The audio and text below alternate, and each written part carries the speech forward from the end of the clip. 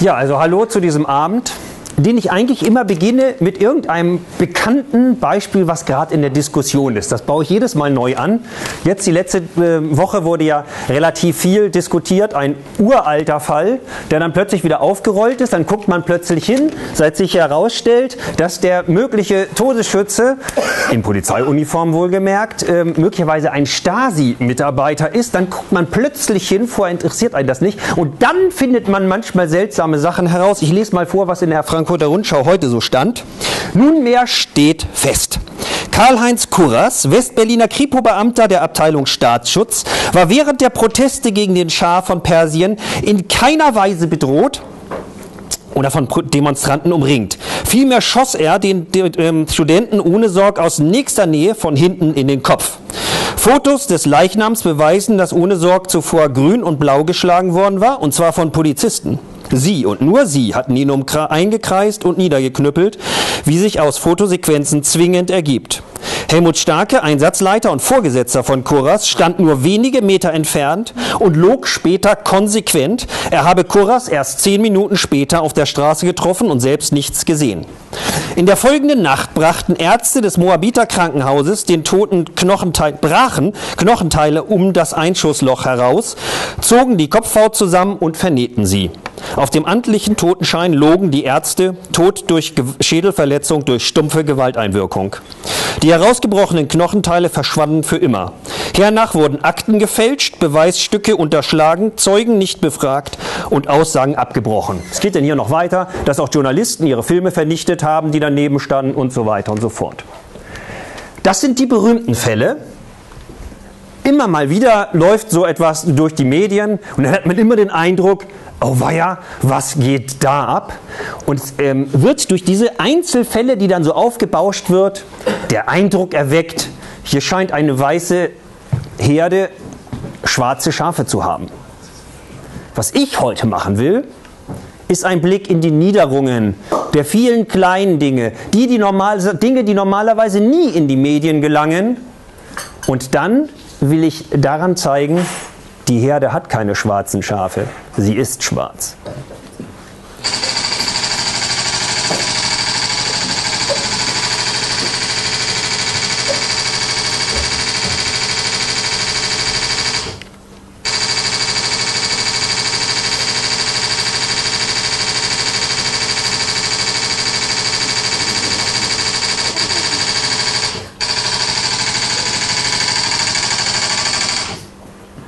Dieser Text stammt von einer Nachrichtenagentur, die hieß damals noch DDP. Und ähm, die hat mal das nachrecherchiert, was ich auch recherchiert habe und kam zu diesem Ergebnis, das ist das, was die dann veröffentlicht haben und quasi das auch ähm, nachgeguckt haben, was ich jetzt auch darstellen will. Beispiele aus der Provinz, aus der Polizei der Provinz, gar nicht so weit weg von hier. Alle meine Beispiele, wo ich genauer hingucke, stammen aus einer einzigen Stadt.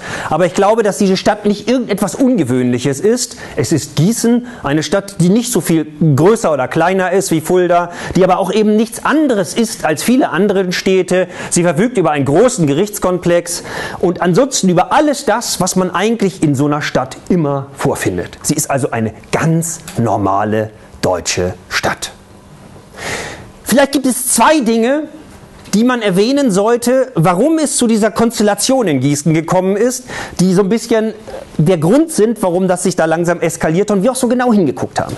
Das eine ist, das ist wahrscheinlich einigermaßen bekannt oder gerade auch in letzter Zeit in dem Zusammenhang bekannt geworden. Der jetzige hessische Ministerpräsident und vorherige Innenminister, der wohnt dort in Gießen. Und das Zweite ist, dass es dort eine Phase gegeben hat von kreativem Widerstand, Protestaktionen. Das will ich kurz mal darstellen, weil man sich klar machen muss, auf was die Sicherheitsbehörden dieses Landes, Polizei und Justiz ab Sommer 2002 in Gießen regelmäßig trafen.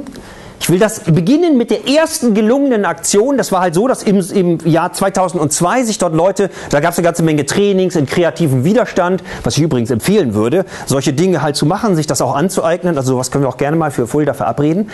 Ähm, wir haben das richtig viel dort gemacht. Wir waren gar nicht viele Leute, aber irgendwann waren es mal so fünf bis zehn, die anfingen in Gießen verschiedene Aktionen zu machen, nur als, damit man sich so einen Eindruck schaffen kann, mit was man da so sich abgekämpft hat. Die erste gelungene Aktion dann einer sehr langen Serie Serie war im Bundestagswahlkampf 2002. Da kam dieser Herr äh, dort vorbei, nicht? Den kennt ihr wahrscheinlich so als Außenpropagandisten der Bundesrepublik Deutschland, äh, ehemaligen Vorsitzender einer Partei, die jetzt immer so kurz über die Wahlkampfkostenerstattung kommt. Der ist dort halt auf den Gießener Kirchenplatz gefahren. Das ist so ein Platz, das vor allen Dingen so ein Rasen, da stand mal eine größere Kirche, den Zweiten Weltkrieg nicht überlebt. Der Turm steht da noch. Und dort bauten seine äh, Regionalfürsten eine Bühne auf. Und dann kam Guido mit seinem Guido Mobil vorgefahren. Das war so ein 31 Liter auf 100 Wagen und trat aus der Tür. Und als er da raustrat, hörte er von oben am Turm mit einem Lautsprecher, Guten Tag, Guido Westerwelle, bist ja heute nicht alleine, wir machen mal ein bisschen Wahlkampf mit. Und dann schaute er da hoch, sah ein großes Transparent, schritt zu seiner Bühne, wähnte sich in dem Besitz der über, einer überlegenen ähm, äh, Lautsprecheranlage und machte dann etwas, was eigentlich schon ganz putzig war. Er pöbelte gegen die da oben. Das ist ja in der FDP sonst nicht so weit verbreitet. Aber in diesem Fall war das so. Und Leute, die jetzt im Publikum standen, unterstützten das auch noch ganz stark, bis eine Stimmung entstand, dass mehrere dort forderten, man sollte die Leute da oben herunterschießen. Und in dieser Stimmung fiel plötzlich Guido Westerwelles Lautsprecheranlage aus. Und wahrscheinlich hat er nie begriffen, dass es ausgerechnet die waren, die diese Pöbeleien anstifteten, die sich dadurch bei der FDP eingeschleimt haben und die Lautsprecheranlage außer Kraft setzen konnte. Subversion, ein total wichtiges Mittel im politischen Kampf, ähm, nicht immer sich gleich zu erkennen geben.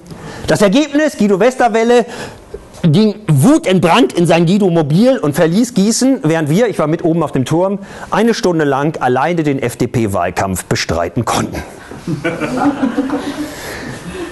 Ab diesem Moment, und das war sehr faszinierend, das hat uns sehr viel Spaß gemacht, kam es in, Gießen zu einer ungeheuren Dichte unterschiedlichster Aktionen, zu ganz unterschiedlichen Themen, aber immer mit sehr, sehr viel Kreativität vorgetragen. Ich drücke das auch mal in Zahlen aus, auf was die Polizei da so traf, ähm, mit was sie sich auseinandersetzen müsste. Es gibt eine Kriminalitätsstatistik, ja immer für jede Stadt, gibt es für Fulda sicherlich auch. Für Gießen wies diese Kriminalitätsstatistik dann von 2002 auf 2003 eine Steigerung sogenannter Links radikaler ähm, Straftaten von 657 Prozent aus. Weil die sortieren ja ganz vieles dann immer so als so Straftaten ein, aber es war also tatsächlich sehr viel Kreativität dabei. Die Polizei reagierte zunächst einmal mit den üblichen Dingen, die es so gibt. Wenn immer wir unterwegs waren, gab es so ein Spalier. Es gab den ersten Gießener Kessel, dann irgendwann mal, da suchten die nach Rasierschaum, weil sie Tortenattentate vermuteten. Also Rasierschaum deshalb, weil man soll nie irgendwelchen Leuten eine Sahnetorte ins Gesicht drücken, weil die klebt überhaupt nicht gut sondern eine mit einem Rasierschaum nachgebaute klebt wesentlich besser. Außerdem kann man vorher auf diese Pappe auch noch einen Spruch draufschreiben. Das sieht ein wesentlich besseres Fotomotiv. Das sind so die kleinen Sachen, die man so Trainings sich aneignen kann, ähm, damit die Sachen auch ähm, passen. Ich habe keine Ahnung, ich bin nicht so auf ähm, drogenbelegten Partys in Gießen unterwegs, aber da hätte ich gerne mal mit Leuten geredet, weil die gesamte ähm, zivile Gießener Polizei wurde ähm, dann ab Herbst 2002 auf uns eingesetzt, äh, die sonst immer nach Drogen fahndet. Keine Ahnung, wahrscheinlich haben die dann abends äh, nicht so viel zu rauchen gehabt, die Polizisten, weil bei uns war dann nie so viel zu holen, wenn wir politische Aktionen machen. So stand das also. Am 16. September gab es die erste Hausdurchsuchung in der Projektwerkstatt. Das liegt halt 20 Kilometer von Gießen hier in diese Richtung. Wo die immer vermuteten, dass dort diese ganzen kreativen Aktionen vorbereitet wurden. Also das ganz normale Spektrum polizeilicher Repression.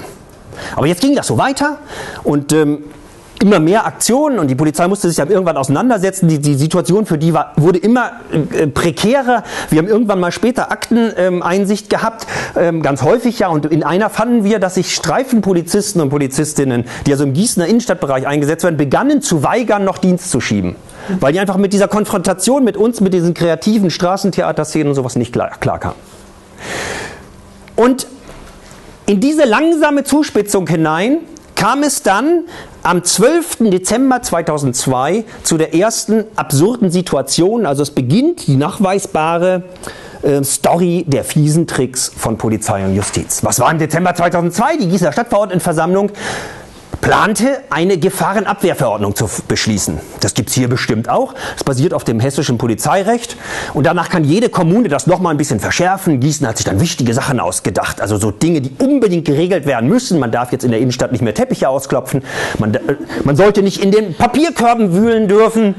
Und lauter so unglaublich wichtige Sachen. Sicherlich der wichtigste Paragraph ist, man darf nicht mit mehr als zwei Personen zusammen Alkohol trinken in der Gießener Innenstadt. Das ist so ein klassischer Paragraph. Man kann ja nicht reinschreiben, wer weniger als 300 Euro verdient oder wer bunte Haare hat, darf nicht mehr nach Gießen, weil das, so, so deutlich darf man das nicht ausdrücken. Man meint das natürlich, aber jetzt auch nur wieder der Umgang von Subversivwiderstand mit so etwas. Jetzt hatten, wollten die also beschließen, es darf nur noch mit mehr als zwei Leuten, darf nicht mehr mit mehr als zwei Leuten Alkohol getrunken werden. Was machen wir? Polizeiuniform angezogen, äh, in die Fußgängerzone gegangen, zu den Glühweinständen und überall dort, wo mehr als drei Leute an den Glühweinständen standen, haben wir die auseinandergetrieben. Kam dann die normale Polizei, haben wir gemeint, ah super, wir brauchen noch eine Verstärkung, übernehmt ihr mal diesen Tisch. Also die drehten am, die drehten am Rad, immer mehr. Und die, also jetzt kommt diese Gefahrenabwehrverordnung und die, die Lage in Gießen ist schon etwas zugespitzt.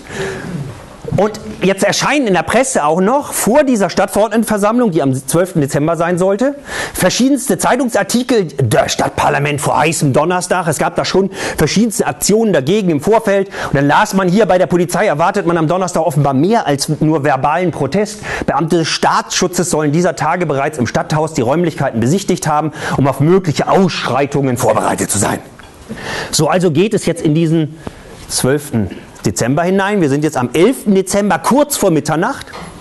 Zwei Leute, ich war auch dabei, deshalb kann ich das jetzt so aus eigenem, eigener Erinnerung noch berichten, fahren mit dem Fahrrad durch die Gießener Fußgängerinnenzone, das darf man nachts sogar.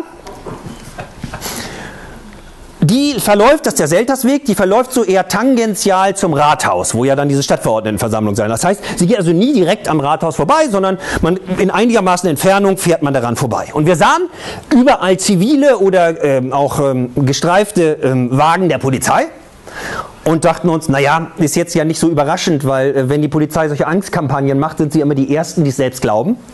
Also sind sie wie blöd in der Stadt rumgefahren, um zu gucken, dass niemand ein Haus klaut. Und wir haben uns auch nicht weiter darum gekümmert. Wir fuhren da also so durch. Dann kommt man am Ende vom Seltersweg auf den Brandplatz, da wo immer so der Wochenmarkt ist.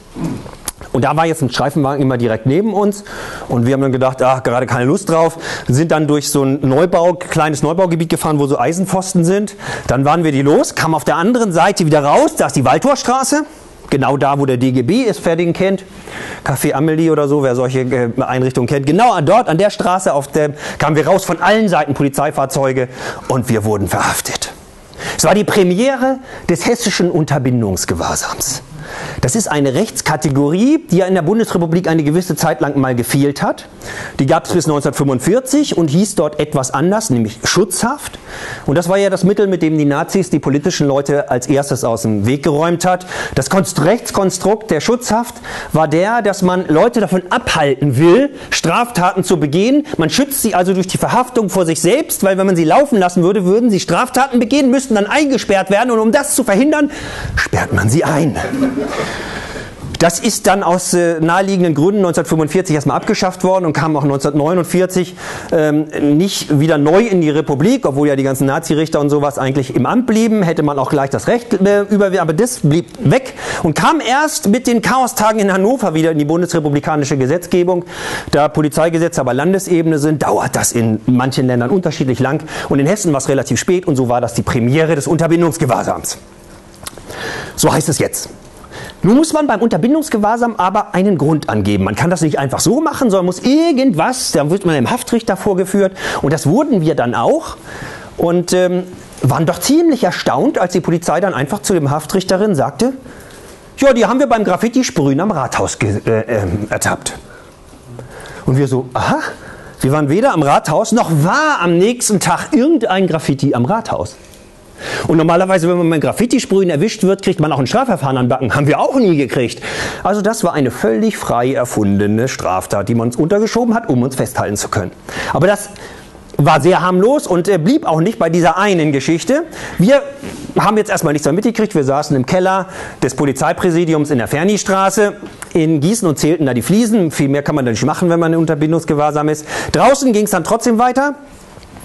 Und zwar gab es verschiedenste Aktionen, also zum, unter anderem das, das ist ja auch eine schöne Sache, dass ähm, in so zugespitzten Angstsituationen mit Subversion viel zu machen ist. So wurde ein Brief verteilt an die Anwohnerinnen dieses Ortes, wo diese Stadtverordnetenversammlung ist, ähm, vom Rechtsamt der Stadt Gießen. Ähm, besondere Sicherheitsvorkehrungen während der Stadtverordnetenversammlung konnte man verschiedenste Sachen lesen. Zum Beispiel, dass man dort keine Autos und so parken sollte. Und wenn man welche äh, doch da parken, soll man der Polizei Bescheid sagen. Äh, Türen und Fenster geschlossen haben. Und hier ein interessanter Satz. Beim Auftauchen von Personen in Polizeiuniform soll die die obige Nummer, das ist die vom Polizeipräsidium, gewählt werden, damit geprüft werden kann, ob es sich um echte Polizeibeamtinnen oder Polizeibeamte handelt. Grund ist, dass Teile der vom Magistrat als gefährlich eingestuften Gruppen bei ihren Aktionen sich in Polizeiuniformen verkleiden. Das war ein sogenanntes Fake. Also eine, auch wieder eine Form der Subversion, eine Fälschung.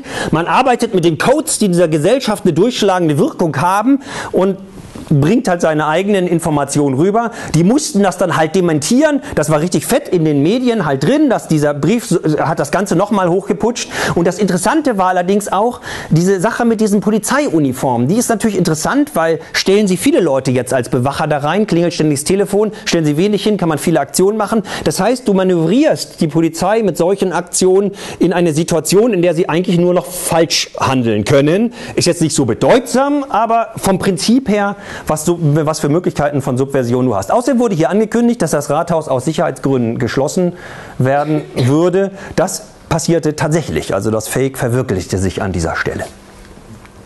Außerdem gab es am Tag selber eine Menge von Aktionen, also Teppich ausklopfen, also das hatte dann alles mit den Themen dieser Gefahrenabwehrverordnung zu tun. Das war eine ziemlich rabiate Auseinandersetzung ähm, am Eingang vor allen Dingen. Hier sieht man so eine Situation aus dem Eingangsbereich des Rathauses, also wie es damals war. Inzwischen das Rathaus ja abgerissen worden, fand ich ja ganz gut, aber sie haben leider ein neues gebaut.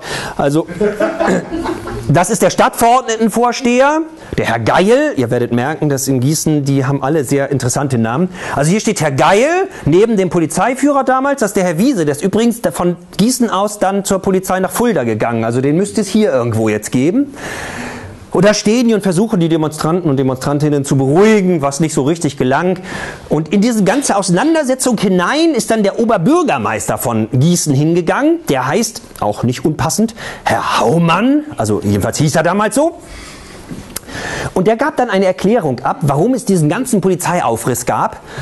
Und das war ziemlich interessant. Später las man nämlich in der Zeitung, was er dort genau sagte.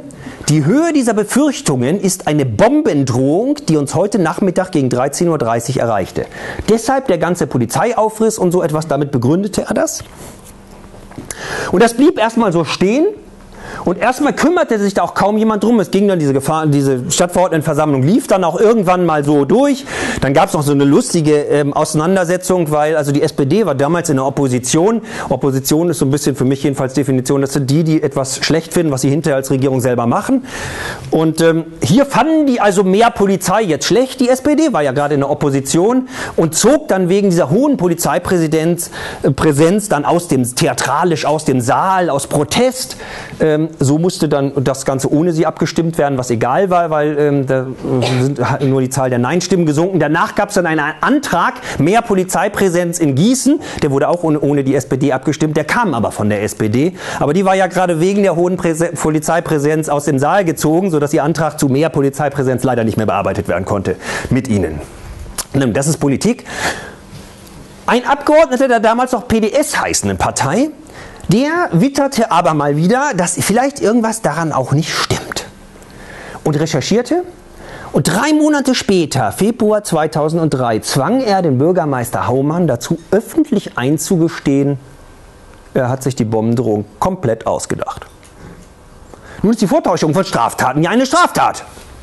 Von daher war das Ganze nicht so ohne. Und jetzt gab, gab es ein unglaubliches Geeiere. Zuerst sagte der Herr Haumann, ach, da hat er sich wohl missverständlich ausgedrückt. Da entschied dann dieser Zeitungsartikel mit diesem Satz. Er behauptete nämlich, er wollte sagen, könnte hier auch eine Bombendrohung kommen. Komisch, dass er die Uhrzeit schon wusste. Das musste er wohl auch zugeben, dass dieses Originalzitat keine, es könnte ja sein. Und dann hat er ein, als Jurist, ist er natürlich als Spitzenpolitiker ein Jurist, ähm, als Jurist eine bemerkenswerte Aussage gemacht, nämlich, ist ja alles nicht so schlimm, weil die Polizei wusste ja, dass es nicht stimmte. Nun ist mir das neu, dass eine Straftat dann keine Straftat ist, wenn man nicht weiß, dass es eine Straftat ist. Würde für Banküberfälle ja ganz neue Perspektiven eröffnen. Aber in der Tat ist es nie ein Strafverfahren gegen Herrn Haumann eingeleitet worden. Wenn jemand von uns behaupten würde, da kommt eine Bombendrohung oder sonst was, dann würde das sicherlich anders aussehen. Wir haben aber auch nochmal, weil er hatte ja behauptet, die Polizei hätte gewusst, dass das nicht stimmte, auch das nochmal überprüft. Ein, jedenfalls die Polizei dachte es, Journalist aus Berlin rief bei der Polizei an und das ist ein, ein Protokoll, eine Mitschrift dieses Interviews, was da geführt wurde. Und da ich ja Protokolle beliebig fälschen kann, langweile ich euch hier heute Abend so gut wie nie mit irgendwelchen Sachen, die wir aufgezeichnet haben, sondern immer schön mit den Sachen von der anderen Seite. Das ist also aus den Polizeiakten die Aufzeichnung von Seiten der Polizei von diesem Gespräch. Und es ist ein Gespräch zwischen einem Journalisten H. und Günther Voss. Der war damals der Einsatzchef in Gießen. Man muss sich das so vorstellen, das ist hier sicherlich nicht anders. Es gibt so eine Einsatzleitstelle, da sitzen die und schicken die Streifenwagen irgendwo hin und sagen festnehmen oder nicht festnehmen oder was auch immer. Der Chef ist der Polizeichef vom Dienst. Und da gibt es natürlich mehrere, weil die ja Schichtwechsel haben. Einer war damals Günther Voss. Und mit dem wird jetzt dieses Interview geführt und dann wird er gefragt, ähm, ob es eine solche Bombendrohung gegeben hat. Und der, der Einsatzchef von Gießen, ja, sicherlich hat eine Bombendrohung vorgelegen. Ob sie vorgelegen hat, das ist ja die Frage. Und in der Tat, die haben sogar hinterher auch äh, Sprengstoffspürhunde da durchlaufen lassen. Also alles deutet darauf hin, dass auch das von dem Oberbürgermeister noch gelogen war. Haben wir also hier den 12. Dezember mit gleich zwei erfundenen Straftaten, das Graffiti am Rathaus, um Leute einzulochen, und eine Bombendrohung, die es nie gegeben hat, um einen Polizeiansatz zu rechtfertigen. Das ist aber erst der Anfang. Also die Gießener Polizei beginnt zu üben mit fiesen Tricks. Zum Abschluss die politische Kontroverse auch nochmal gezeigt. Das Ganze halt schon jetzt, äh, wir, äh, als das dann bekannt wurde, das war Februar 2006, äh, 2003. Wir haben also sechs Monate schon sehr viel politische Auseinandersetzung in Gießen gehabt. Da war das schon relativ hochgeputscht und da fand ich auch schon ziemlich interessant, wie die das politisch begleitet haben. Also als klar wurde, er hat sich eine Straftat ausgedacht und gelogen, das Parlament belogen, die Öffentlichkeit belogen, hat er dann selber seine äh, Stadtverwaltung äh, äh, eine Presseinfo rausgehauen lassen, wo er sich dann selbst zitiert hat. Und das fand ich schon ziemlich interessant, dass ihn in den letzten Tagen sehr viele Menschen auf der Straße angesprochen haben mit dem Tenor, sie haben das richtig gemacht habe ihn bestärkt. Die Vorwürfe, er habe ein hartes Sicherheitsverständnis, seien für ihn eine Auszeichnung. Und dann Originalzitat. Ich stehe für Law and Order, die anderen offenbar für Lust und Laune. Also vielleicht auch nicht ganz alltäglich, dass ein Bürgermeister einer Stadt ganz offiziell bekannt gibt, dass er Lust und Laune in seiner Stadt definitiv nicht will. Es wurde dann übrigens in umgekehrten einer der Leitslogans der, des Gießener Widerstandes gegen diese Gefahrenabwehrverordnung. Ähm, das hieß dann Lust und Laune statt Law and Order, war dann quasi aus seinem Satz heraus das Gegenteil gebaut. So, jetzt geht weitere Zeit ins Land. Und ähm, ich hüpfe jetzt mal so ein bisschen durch ein Jahr, ähm, bis ich dann zum nächsten Fallbeispiel komme, wo man sieht, die Gießener Polizei hat ein bisschen geübt und kriegt es dann noch etwas besser hin. Das Jahr blieb, war allerdings ja ziemlich voll von Aktionen, diese dieses Bemerken, dass die sich Straftaten ausdenken und dass die Polizei halt kommt und Aktionen kaputt macht, das ist ja jetzt nichts ganz Neues. Kennt, wer politisch aktiv ist, wird das kennen. Man bereitet mit ganz viel Stress irgendwelche Aktionen vor, dann kommt die Polizei, ihre Personalien bitte und alle machen irgendwas, aber niemand macht mehr die Aktionen und alles war umsonst vorzubereiten. Und da haben wir gedacht, das wird uns ja ständig passieren, das wollen wir nicht. Und wir entwickelten einen Umgang mit der Polizei, den wir dann irgendwann mal mit diesem Begriff kreative Antirepression belegt haben. Die Idee, die, äh, wir machen unsere Aktion weiter, wenn die Polizei kommt. Ja, im günstigsten Falle, wir planen sie von vornherein so, dass wenn die Polizei kommt, wir sie mit einbauen in die Aktion. Das ist deshalb ziemlich einfach, weil die Polizei in der Regel ziemlich standardisierte Verhaltensweisen haben. Ihr kennt das, wer da Kontakt hat, kennt ihr das bestimmt. Die kommen dann an und sagen, hier, Ihre Personalien bitte. Oder geht auch so, Sie bekommen gleich einen Platzverweis. Oder eigentlich sind Sie ja schon fast durch und ähm, so der Klassiker ist, wenn Sie nicht mehr weiter ist, wissen, ist dann so der Satz, wir können auch anders. Aber damit hat man es ungefähr erfasst, was die so auf der Straße an Kommunikationsfähigkeit zu bieten haben. Das kann man einbauen. Und ein Beispiel, was wir dann zum Beispiel wenige Tage nach dieser Auseinandersetzung, nämlich in den letzten Tagen des Jahres 2002 dann entwickelt hatten, war ein Straßentheater wir nannten das Kameragottesdienst. Wir sind zum Gießener Marktplatz gezogen, das ist so eine Rundumkamera. Die sah damals so aus, inzwischen ist der umgebaut, sieht jetzt mehr aus wie ein Flughafen, der Gießener Marktplatz. Und die, um, um, die Rundumkamera ist da auch noch, aber jetzt an einem anderen Pfosten. Damals war die so, wir haben das als quasi als Altar genommen und haben dann den, den Sicherheitsgott angebetet und seine Propheten und sowas. Das ging dann so, ich glaube an Roland Koch und so weiter, weil er sagt Glaubensbekenntnis oder irgendwelche Choräle, danke für deine guten Bilder und so weiter.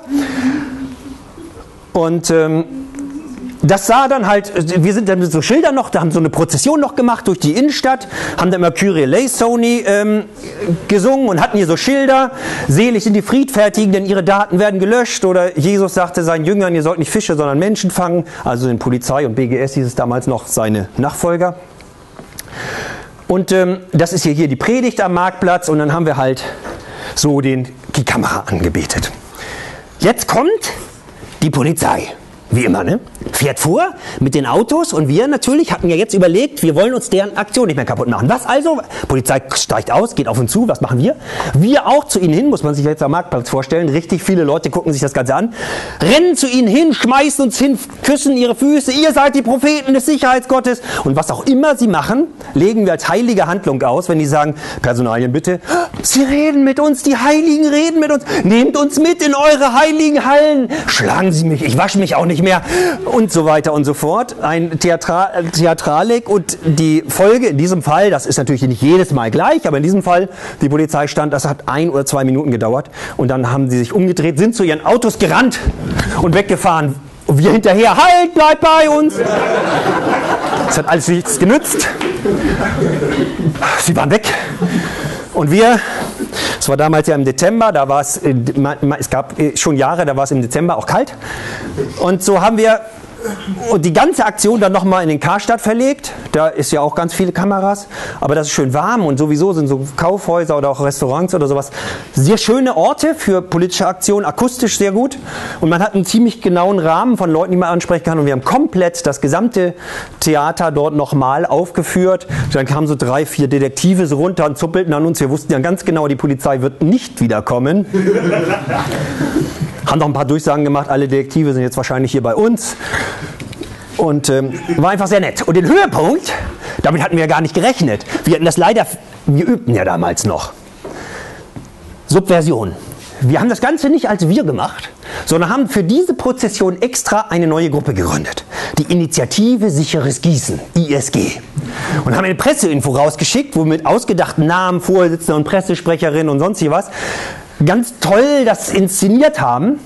Wir hatten gar nicht damit gerechnet, dass jemand so blöd sein könnte und das, das nicht schnallen konnte, sonst hätten wir das auch viel besser aufgezogen. Also wir waren zum Beispiel so blöd, da haben unsere eigene Adresse genommen, so dass es früher oder später auffiel. Schade, schade. Also ich kann nur empfehlen, also solche Dinge gehen. Man glaubt gar nicht, wie blöd diese Welt ist. Am nächsten Tag, das war an einem Samstag, ist im Sonntagmorgen-Magazin, das ist so eine Umsonst-Zeitung, die ähm, in jeden Haushalt eingeworfen wird, immer am Sonntagmorgen war das Titelthema, also auf der Frontseite der Leitartikel das hier.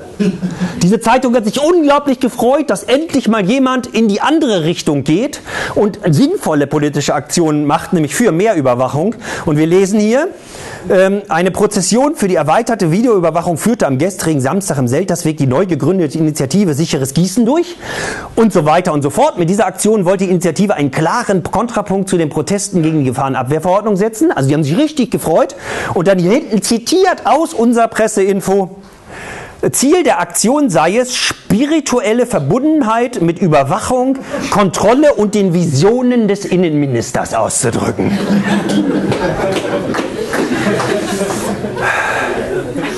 Diese Zeitung hat nie wieder über uns geschrieben. Ich weiß gar nicht warum. Ja, so ging es halt durchs Jahr. Und im Januar 2006 spitzte sich die, äh, äh, die Klammer der Polizei immer mehr zu. Es kam am zweiten Wochenende des Januars zu einem bemerkenswerten Überfall. Ähm, das war im Kontext noch mit, einem, äh, mit einer Wahlkampfveranstaltung von Roland Koch. Da hatten sie gleich den Gefangenentransport dahingestellt und als wir dann dahin kamen, die war in Grünberg und da hatten sie wohl damit gerechnet, dass wir kommen und haben uns dann alle eingesackt und haben ein Antrag auf Untersuchungshaft gestellt gegen uns, ähm, was abgelehnt wurde, weil zu der damaligen Zeit musste die Polizei noch einen Grund reinschreiben. Das hatten sie komplett unterlassen und deshalb klappte das nicht mit dem Untersuchungshaft. Dann haben sie uns noch mal eine Schleife bei sich übernachten lassen und gehofft, dass vielleicht, wenn ach, Schichtwechsel bei Richtern und Staatsanwälten, dass es vielleicht dann klappt. Also geht alles gar nicht so, sich so zu verhalten, haben sie aber gemacht. Und als es dann wieder nicht klappte, haben sie uns immer noch nicht rausgelassen, sondern noch drei Stunden behalten und derweil die Projektwerkstatt überfallen. Also dieses Haus, was da steht in Sasen, wo halt so verschiedenste also Theaterwerkstatt, Bibliotheken, eine Sabotagewerkstatt, eine Layoutwerkstatt, eine Druckerei, was man so braucht, um politische Aktionen zu machen. Und da haben sie ja immer geglaubt, dass dort die Sachen so abgehen, sind da also vorbeigekommen, haben gar keinen Durchsuchungsbefehl gehabt. Sie wollten auch nichts durchsuchen, sondern sie haben komplett die Technik des Hauses abgeräumt. Das ist hier so ein Ausschnitt von den Punkten 24 bis 31 das war eine endlos lange Liste. Man sieht, was sie da alles so mitgenommen haben, vor allem den Kabel, nicht? Also was man mit Kabeln so nachweisen will. Das Beweismittel ist mir komplett schleierhaft, aber vollkommen egal. Also sie haben einfach alles abgeräumt und danach haben sie uns dann wieder freigelassen. Und als wir dann da ankamen, saßen noch andere Leute im Projektwerkstatt und meinten, tja, dann hier ist nichts mehr. Dann haben wir, sind wir nach Gießen gefahren, um spontane Aktionen zu machen. Das war das einzige Mal in meinem Leben, dass ich mit handgeschriebenen Flugblättern gearbeitet habe, weil Technik hatten wir nicht mehr.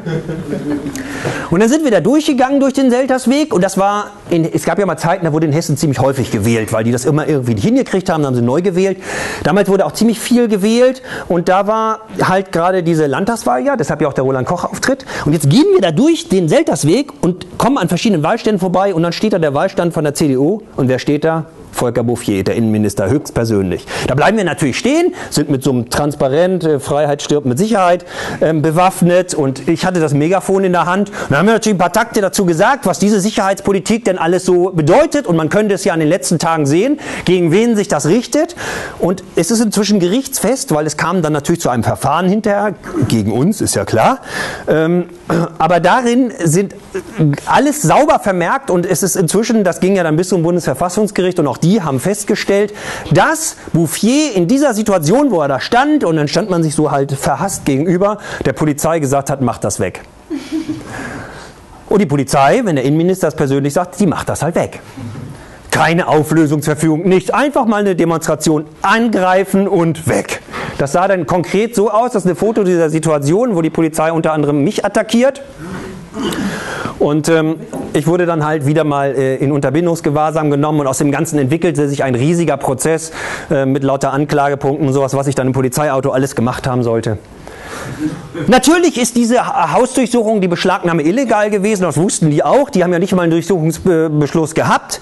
Ähm, die haben sich auch gar nicht darum bemüht, das wissen die natürlich. Und äh, zwei Monate später kriegt man dann auf der nächsten Ebene halt äh, dann auch gesagt, war alles illegal. Wir konnten die Rechner dann wieder abholen. Aber genau das war ihr Ziel, ähm, zwei Monate halt zu versuchen, unsere Arbeitsfähigkeit herunterzusetzen. Was zum Glück, dann gibt es halt irgendwelche Leute, die einem dann helfen nicht so geklappt hat. Aber so geht es halt durch dieses Jahr durch. Und jetzt gehe ich mal in großen Sprüngen, um zu dem nächsten Fallbeispiel zu nehmen. An einer Station mache ich nochmal Halt, weil die so unglaublich schön ist, finde ich. Es ist August 2003. Wir sind inzwischen am Überlegen, wie wir mit so subversiven und kreativen Aktionen auch mehr als Ein-Punkt-Bezüge herstellen können. Kann man mit solchen Aktionen Debatten über gesellschaftliche Utopien in der Fußgängerinnenzone erzielen. Ist ohnehin immer mein Traum einer Aktion. Ich will eine Aktion machen und dann ist nicht irgendwie alles klar oder ich überlasse der Bildzeitung die Interpretation, sondern am liebsten ist, wir machen in der Fußgängerinnenzone eine Aktion und danach diskutieren alle Leute in kleinen Gruppen, weil es irgendwie so ist, so kommunikativ ist, dass man einfach miteinander reden muss. Und wir überlegten, wie kann man das so mit Utopien machen und haben dann unterschiedliche Sachen zu Utopien, ähm, also die, äh, die, quasi das Erzielen, dass richtig so in der Stadt über Utopien diskutiert wird. Und da gab es am 23. August 2003 folgenden Plan. Überall in der Stadt lagen irgendwelche Flyerchen aus, nee, das gar keiner, so, also kleine Flyerchen. Und ähm, da stand drauf, dass am 23. August um 14 Uhr alle Herrschaftssymbole in Gießen gesprengt werden. Es lag überall rum. Und jetzt kam der Tag und äh, Überall Polizei, Überraschung. Und wir. Da gibt es schöne Fotos, die sind aus der Kamera eines Staatsschützers aufgenommen, aus, den, ähm, aus dessen Kamera sieht man uns da halt jetzt. Das ist jetzt im Seltersweg, da wollten wir losgehen, wir wollten noch ganz andere Sachen machen. Und was sieht man? Wir haben alle Gießkannen in der Hand, um die Herrschaftssymbole zu sprengen. Und so gehen wir los. Wir sind hier bei diesem Bild, bei diesem ersten Bild. Hier ist der Einsatzleiter, die Schulter vom Einsatzleiter Weber und KOK Schmidt, der Staatsschützer, fotografiert das Ganze. Und man sieht, wir gehen da so los. Es ist mal wieder ein Wahlkampf, diesmal Oberbürgermeisterinnenwahlkampf in Gießen. Rechts hiervon ungefähr da, wo dieses Transparent hängt, wäre der Stand der CDU. Den kennen wir ja schon. Mit unangenehmen Begleiterscheinungen. Und äh, deshalb, wir, hier steht der Stand der Grünen. Da ähm, kandidiert auch eine, die hat auch einen passend gießenden Namen, die heißt Frau Gülle. Und wir gehen, wie man sieht, an diesem Stand einfach so vorbei. Hier sieht man jemanden reden. Frau Gülle ist die, die hinter dem Stand steht und deren Arm man hier sieht. Also wir kennen das Foto auch im Original, aber in den Akten kriegen wir es dann ja immer nur in Schwarz-Weiß. So, wir gehen also dran vorbei und was hier leider verdeckt ist hinter diesem Transparent, ist so ein Aufsteller. So ein Wahlplakat, wo halt der Kopf von Gülde drauf ist. Und als wir da vorbeigehen, gehen mehrere mit der Kanne und gießen da so ein bisschen Wasser drauf mit dem Spruch so, ähm, was weiß ich, ähm, Herrschaft sprengen, wie auch immer. Das sieht Gülle. Sekunden später ist diese Situation und ab diesem Moment versagt die Kamera des Staatsschützers. Denn noch eine Millisekunde später wird Gülle, die jetzt hier direkt hinter mir steht, während ein zweiter Grüner mit sehr freundlichem Ausdruck die eine Aktivistin von uns angreift, ähm, eine Millisekunde später wird Gülle mir mitten in der Fußgängerzone zur besten Sendezeit voll in die Fresse hauen. Gerichtsfest fliegt meine Brille sechs Meter weit und ist kaputt. Wenn sowas passiert, muss die Polizei natürlich eingreifen. Die kommt auch sofort und nimmt alle Projektweltstädtler fest, also alle Aktivisten fest. Und KOK Schmidt nimmt Gülle beiseite und erörtert mit ihr das Problem, wie damit jetzt umzugehen ist. Und dann überlegen die sich, naja, ist ja schon ein bisschen doof jetzt irgendwie, ne? Wie kann man das wenigstens besänftigen? Man muss irgendwie behaupten, ich hätte sie schwer beleidigt. Es wird sich später herausstellen zwar, dass Gülle an der Stelle, wo sie sagt, dass ich was Schlimmes über sie gesagt habe, überhaupt nicht da gewesen ist, also frei erfunden. Aber tatsächlich, es kommt jetzt zu zwei Ermittlungsverfahren. Körperverletzung gegen Gülle, Beleidigung ich gegen Gülle. Das gegen Gülle wird natürlich eingestellt aus Mangel an öffentlichem Interesse. Ist ja klar. Das gegen mich wird weitergeführt, was ein bisschen absurd ist, weil es ja die gleiche Situation ist. Äh, die hat aber plötzlich öffentliches Interesse und ich werde sogar verurteilt. Ich bin rechtskräftig verurteilt wegen Beleidigung von Frau Gülle. Allerdings ist, weiß niemand, was ich gesagt haben soll. Man weiß auch nicht, wann ich was gesagt haben soll. Aber verurteilt bin ich trotzdem und wir lesen mal das Urteil zu diesem Fall. Die Zeugin räumte selbst ein, den Angeklagten geohrfeigt zu haben. Für eine solch extreme Reaktion muss es Gründe gegeben haben. Für Oberbürgermeisterkandidaten macht es sich schließlich schlecht, wenn sie bei Wahlkampfveranstaltungen grundlos Passanten prügeln. Schließlich wollen sie gewählt werden. Das ist ein original gültiges Urteil eines bundesrepublikanischen Richters. Ja, und so hüppelt das also jetzt so weiter durchs Jahr. Und dann kommen wir irgendwann in den, in den Dezember 2003. Und jetzt kommt wieder ein neues Fallbeispiel. Die Polizei hat jetzt schon ordentlich Zeit gehabt zu üben. Im Dezember 2003 steigt erstmals im größeren Umfang die Gießener Strafjustiz in die Geschichte ein. Es läuft ein Verfahren an. Ähm, das soll am 15. Dezember 2003 beginnen. 13 Anklagepunkte gegen zwei angeklagt. Ich war auch dabei. Da gehört zum Beispiel die Beleidigung von Frau Gülle gehörte damit rein und die Auseinandersetzung dort am CDU-Parteistand und eine Menge anderer Geschichten wurden dort angeklagt. Und jetzt denkt die Polizei ja immer, die machen ständig irgendwelche Aktionen. Da müssen wir ja aufpassen. Und wenn wir jetzt noch einen Gerichtsprozess ansagen, dann gibt es bestimmt erst recht Aktionen. Also, was macht die Polizei clever, wie sie ist? Sie guckt mal auf dem Terminkalender der Projektwerkstatt vorbei. Schlau, ne? Und da finden Sie folgenden Eintrag, so sah das auch auf der Projektwerkstattseite, aber ich habe die natürlich nicht selber ausgedruckt, sondern das wiederum ist der Auszug, wie die sich den selber ausgedruckt haben und in ihre Polizeiakte eingeführt haben. Und da kann man lesen, am Dienstag, den 9.12. um 22 Uhr am Amtsgericht Gießen Lesungen. Wer vorlesen will, bringt einfach etwas mit. Da wollen sich also Leute treffen und sich Gedichte vorlesen. Das Ganze vor dem, auf dem Gerichtsgelände in Gießen, das ist nicht besonders schwierig, weil es sich dabei eher um ein parkähnliches Gelände handelt, wo mehrere Fußgängerinnenwege so drüber gehen, die auch bedeutende Verbindungen zwischen der Innenstadt und dem Parkgelände oder so etwas darstellen. Nachts der hellste Punkt ist der Haupteingang zur Staatsanwaltschaft, weil hier ein Weg von der Innenstadt, hier hinten ist die Waldtorstraße, Arbeitsamt und so weiter. Und dann kann man hier so rübergehen und geht dann so Richtung Ringallee, wo das Schwimmbad ist oder so ein größerer Parkplatz. Und da quert ein überdachter Gang, da können die Staatsanwälte und Anwältinnen dann in den Hintereingang vom Amtsgericht gehen und haben so ein Glasdach über sich, damit ihre schönen Roben nicht irgendwie verknittern. Und da ist so ein riesiger Scheinwerfer und da ist man dann überdacht und an dieser Stelle findet also die Gedichtelesung statt. Nun habt ihr vielleicht auch schon gehört, dass Polizeibeamte und Beamtinnen ja kulturell immer sehr interessiert sind.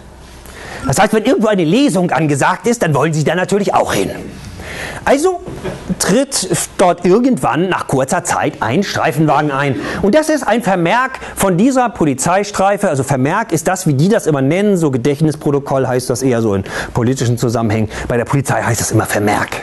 Und wir lesen im Rahmen von Objektschutzmaßnahmen befuhren Polizeikommissariatsanwärterin Schmitz und ich am 9.12. gegen 22.20 Uhr die Ostanlage in Richtung Marlborough Straße. Das ist da hinten. Auf dem Gehweg zwischen Verwaltungsgericht und Staatsanwaltschaft bemerken wir eine Personengruppe. So, so. Jetzt müssen die, um auf das Gelände zu kommen, weil hier diese Eisenpoller sind, hinten rumfahren. Einmal so quasi ums Karree, kommen dann über die Ringallee in die Gutfleischstraße, was so die zuführende Straße für die ganzen Gießener Justiz und Knäste sind. Und von dort können sie auf das Gelände fahren. Das machen sie auch. Als wir wieder am Ausgangspunkt eintrafen, saßen die Personen bereits zu dem Haupteingang zur Staatsanwaltschaft, also hier. Bei der anschließend beabsichtigten Kontrolle befanden sich dort zunächst sechs oder sieben Personen, die Gedichte vorlasen. Ach ja, öffentlich angekündigte Veranstaltung, Flyer gab's, Internet gab, am hellsten Punkt auf diesem Gelände. Und dann machen die das auch noch. Gedichte vorlesen? Denkt sich die Polizei, ja super, Kulturveranstaltung, was machen Sie? Sie organisieren erstmal Ihren ganzen Club dahin, Kultur, ne? Durch Polizeikommissariatsanwärterin Schmitz wurden zwischenzeitlich weitere Streifen zum Einsatzort gerufen. Bis zu deren Eintreffen erschienen vier weitere Besucher zur Vorlesung. Also die Sache ist eigentlich ganz schön klar und wirkt äh, ungewöhnlich langweilig. Was soll da jetzt eigentlich noch passieren? Kurze Zeit später entsteht dieses Foto einer zu diesem Zeitpunkt noch nicht entdeckten Digitalkameras. Das sind die Leute, die sich Gedichte vorgelesen haben. Sie befinden sich jetzt aber an einer anderen Stelle, nämlich im Keller des Polizeipräsidiums in der Ferni-Straße. Das ist der Gang, von dem die Gewahrsamszellen abgehen. Alle Gedichteleserinnen und Leser werden in Polizeigewahrsam genommen und die Polizei stellt einen Antrag, dass sie für sechs Tage eingesperrt werden sollen.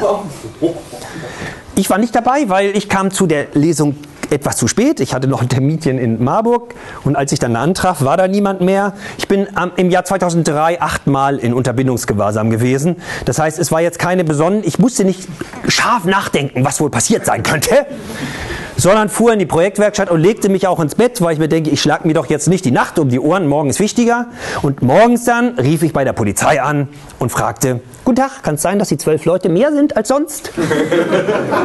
Und die sagten, wir können dazu nichts sagen, rufen Sie mal beim Gericht an. Okay, das war ja auch eine Antwort. Und beim Gericht erfuhr ich dann, die haben diesen Antrag gestellt auf Unterbindungsgewahrsam, aber für sowas müssen sie, das hatte ich bei diesem komischen Graffiti am Rathaus ja schon erklärt, sie müssen immer einen Grund anfügen. Und es ist in Deutschland noch nicht wieder so weit, dass man durch das Verlesen von Gedichten schon eine strafbare Handlung ähm, äh, vollzieht. Also musste was anderes her. Jetzt ähm, bereiteten wir verschiedene Aktionen vor und ich beobachtete, was die Polizei nach außen geben würde. Und in der Tat, jeden Werktag zwischen 13 und 15 Uhr veröffentlicht die Polizei Mittelhessen, also das Polizeipräsidium in Gießen, was sie alles Tolles an dem Tag und davor gemacht haben. Das ist sehr interessant zu lesen, weil damit kriegt man so richtig mit, warum wir unbedingt die Polizei brauchen. Also jeden zweiten Tag eine Abschiebung und also diese wichtigen Dinge, die in dieser Gesellschaft die Polizei verrichtet, die sind da immer, also es ist wirklich so eine, also man braucht da gar kein Politbuch gegen die Polizei mehr zuzuschreiben, weil deren Zusammenstellung, was die machen, eigentlich schon klar macht, wofür die da sind. Und so war es auch an diesem Tag. 14.43 Uhr kommt deren gesammelte Presseinfos und ich lese, erstaunt, wegen beabsichtigten Farbschmierereien Aktivisten im Gewahrsam. Zählen konnten sie auch nicht, aber egal. Am Dienstag, dem 9.12. gegen 22.15 Uhr wurden zwölf Aktivisten am Eingang des Gebäudes der Staatsanwaltschaft Gießen in der Marburger Straße angetroffen. Diese Gruppe hatte offensichtlich die Absicht, Farbschmierereien zu begehen, da entsprechende Utensilien mitgeführt wurden. Das haben sie also versucht. Der ähm, Unterbindungsgewahrsamsantrag ging trotzdem nicht durch, weil sie einen taktischen Fehler gemacht haben, denn diesen Text hatten sie offensichtlich schon vorher geschrieben, was zu dem Fehler führte, dass dort ein Satz drin stand, der, der meine Person erwähnte und den Richtern aber auffiel, dass ich ja gar nicht dabei war bei den Verhafteten und äh, offensichtlich sie das schon vorher geschrieben hatten. Ja, jedenfalls ging es nicht durch, so dass die Leute dann am Abend nach 24 Stunden Unterbindungsgewahrsam oder knapp 24 Stunden dann dort ähm, in der Fernistraße wieder entlassen werden mussten. Jetzt war das die erste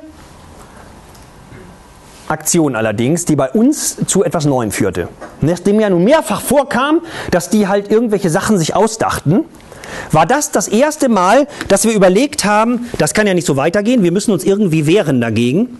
Und wir begannen mit dieser Hand, mit diesem Vorgang erstmals genauer hinzugucken, zu recherchieren, uns Akten anzugucken und so weiter. Das sollte in der, Zuk in der Zukunft noch häufiger passieren, was ja zu weiteren ähm, Sachen führte.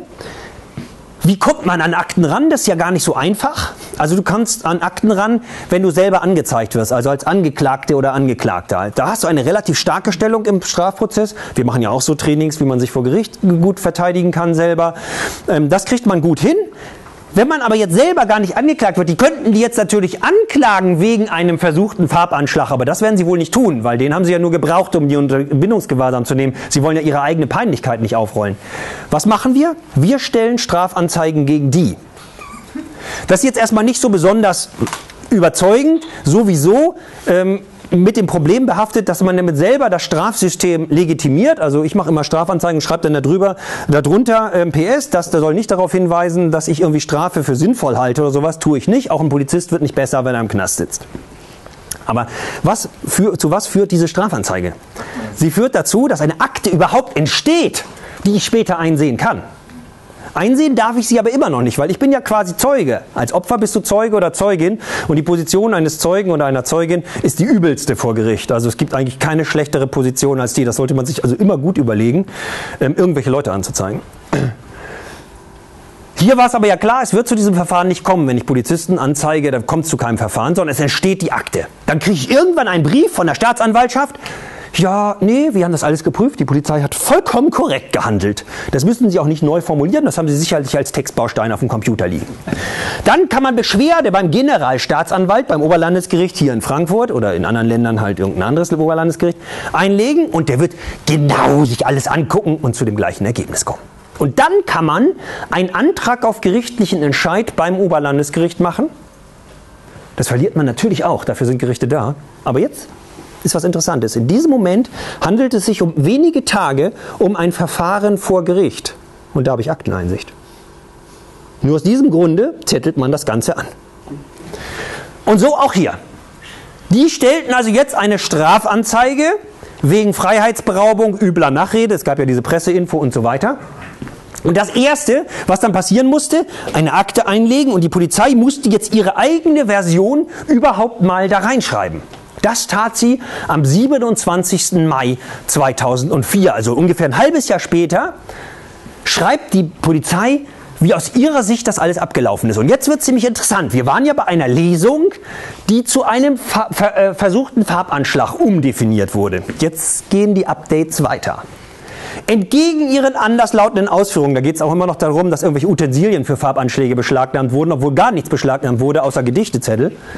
Entgegen ihren anderslautenden Ausführungen in ihrem Schreiben, es sei bei den in Gewahrsam genommenen Personen keine Utensilien zur Farbveränderung von Gerichtsgebäuden gefunden worden, konnte ein Chemikalienbehälter sichergestellt werden, den sie versuchten, während die Beamten ihre Personalausweise kontrollierten, vor den Beamten zu verdecken. Nicht? Man erinnert sich, die Beamten selber haben noch in ihren Vermerken von einer Lesung gesprochen. Jetzt sieht das Ganze ein bisschen anders aus.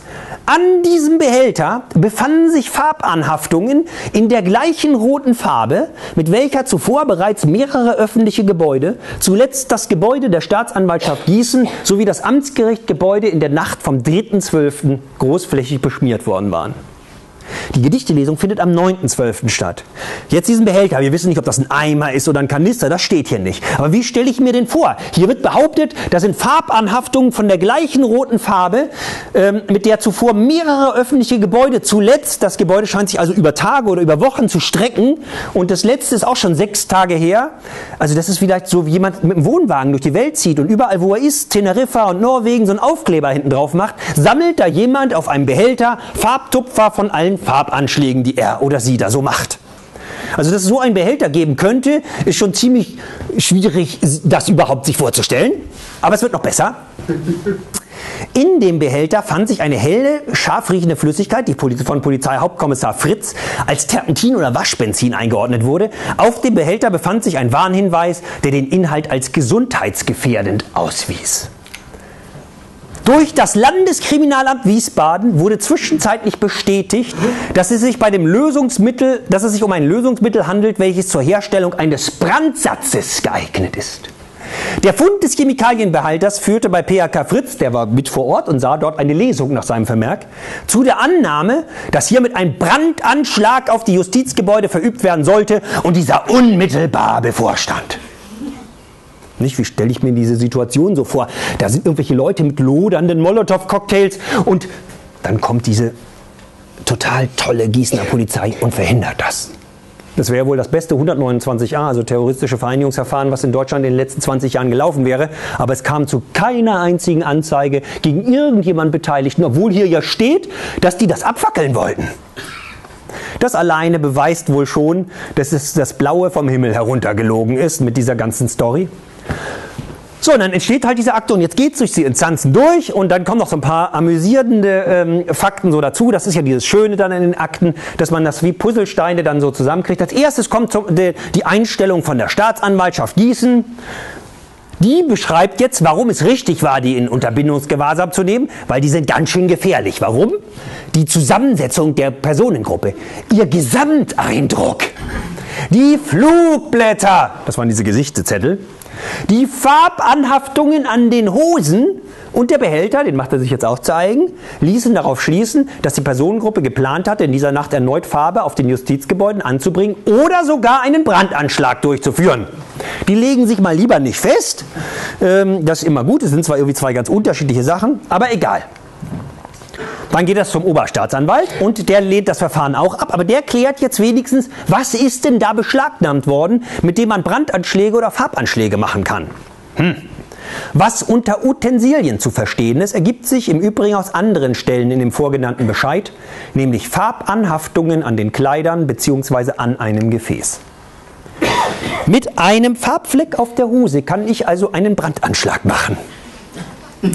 Also wer jetzt so irgendwie beabsichtigt, Maler oder Malerin zu werden, äh, stößt dort möglicherweise auf ein großes Problem bei zukünftigen Polizeikontrollen.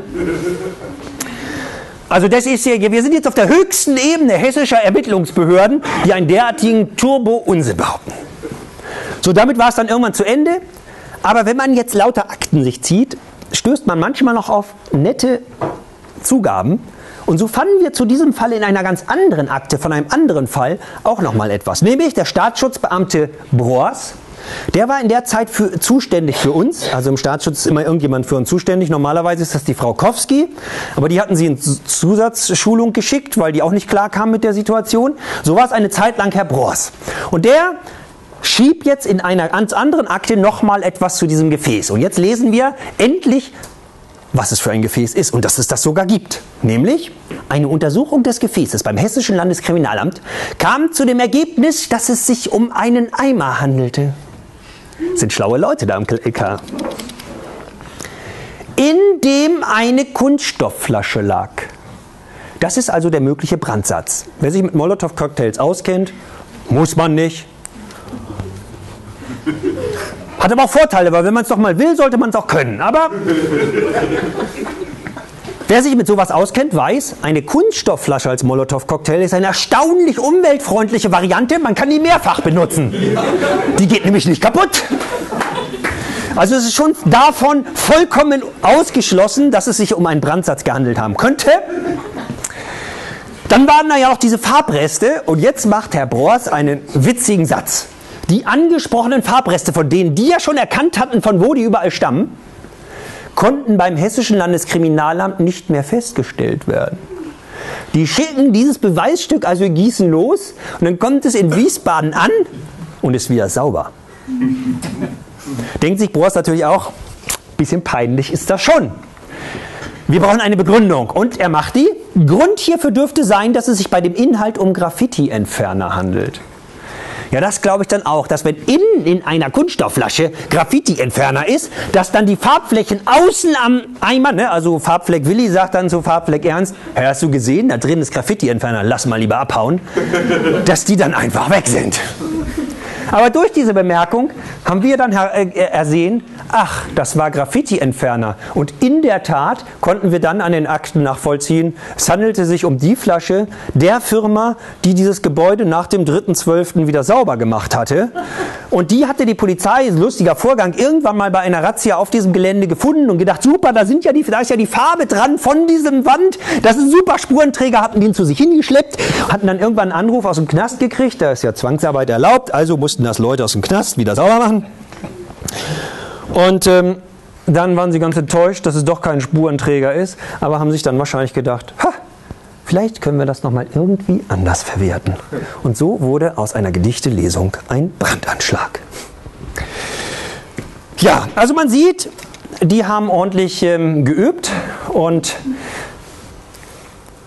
ich weiß nicht, was passiert wäre, wenn das so weitergegangen wäre. Aber leider ist es nicht so weitergegangen. Also auch Unsere intensive Aktionsphase ist so nicht endlos weitergegangen. Einige Leute sind weggezogen und so etwas und dann äh, wurde es halt weniger. Und äh, so beruhigte sich das Ganze, außer dass die noch ewig lange Polizei und Justiz sich an uns weiter abgearbeitet haben. Das heißt quasi diese ganzen Prozesse und sowas, die dann durch die Jahre liefen, ähm, haben das Ganze doch so immer so weiter am Köcheln gehalten und natürlich verschiedenste Einzelaktionen, die es dann auch immer noch gab. Und dazu gehört dann, und da sieht man dann eben doch, die Polizei hat geübt, der berühmteste Fall, die absurdeste Begegnung der, äh, zwischen uns und der Gießener Polizei, jener Fall, der inzwischen etwas bekannter geworden ist, weil er den Innenminister etwas eingeholt hat. Das ist dieser 14. Mai 2006. Mein abschließender, absurdester Fall. Jetzt kommt wirklich einiges an Know-how zusammen. Mein Vorschlag aber, wir machen eine Halbzeitpause und gehen dann in das sogenannte Federballspiel.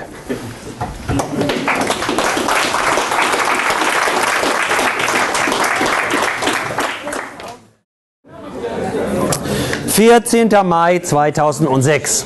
Also wie gesagt, zu diesem Zeitpunkt war eigentlich in Gießen das schon ein bisschen runter. Es gab immer noch mal so Einzelaktionen, die die nervten und eben diese ganze juristische Aufarbeitung. Der Hintergrund vom 14. März, ich muss ein bisschen ausholen, damit man weiß, warum dieser 14. Mai eine solche Rolle spielte. Das hat etwas zu tun, dass ja in, irgendwie ist ja jedes Gebäude gleich wichtig, aber manche sind etwas gleicher als andere. Dazu gehörte dieses Gebäude, die sind inzwischen umgezogen, damals war das in der Nordanlage 37 in Gießen. Das ist eine Rechtsanwaltskanzlei. Da sitzen also so Rechtsanwälte. Ich kann jetzt hier mal im rein männlichen Sprachjargon bleiben weil was anderes hatten die da zu dem Zeitpunkt noch nicht reingelassen. Bemerkenswert an dieser Rechtsanwaltskanzlei war, dass dort zwei deutsche Innenminister ihren Sitz hatten. Das ist schon gar nicht so schlecht. Und zwar einmal, das wird nicht so überraschen, der damalige hessische Innenminister Volker Bouffier und auch der damalige thüringische Innenminister Karl-Heinz Gasser. Ist aber eigentlich auch wieder nicht so überraschend, wenn man sich angeguckt hat, wie die Beerdigung der DDR stattfand. Da haben sich ja verschiedene Westbundesländer, die Ostbundesländer vorgeknüpft. Thüringen wurde halt von Hessen quasi erobert. Also alle Funktionäre von, ähm, von was weiß ich, ähm, äh, Landespolizeipräsidium bis Linkspartei oder sowas sind alles Leute aus Hessen. Und ähm, so ist es nicht so überraschend, dass der Anwaltskonzellege vom hessischen Innenminister, also der thüringische Innenminister wird. Nun ist der thüringische Innenminister auch nicht so ganz ähm, äh, zart beseitet und auch dessen Polizei macht seltsame Dinge. Ähm, vielleicht mal drei Beispiele dafür, was in äh, Thüringen so alles an Seltsamkeiten ähm, passiert.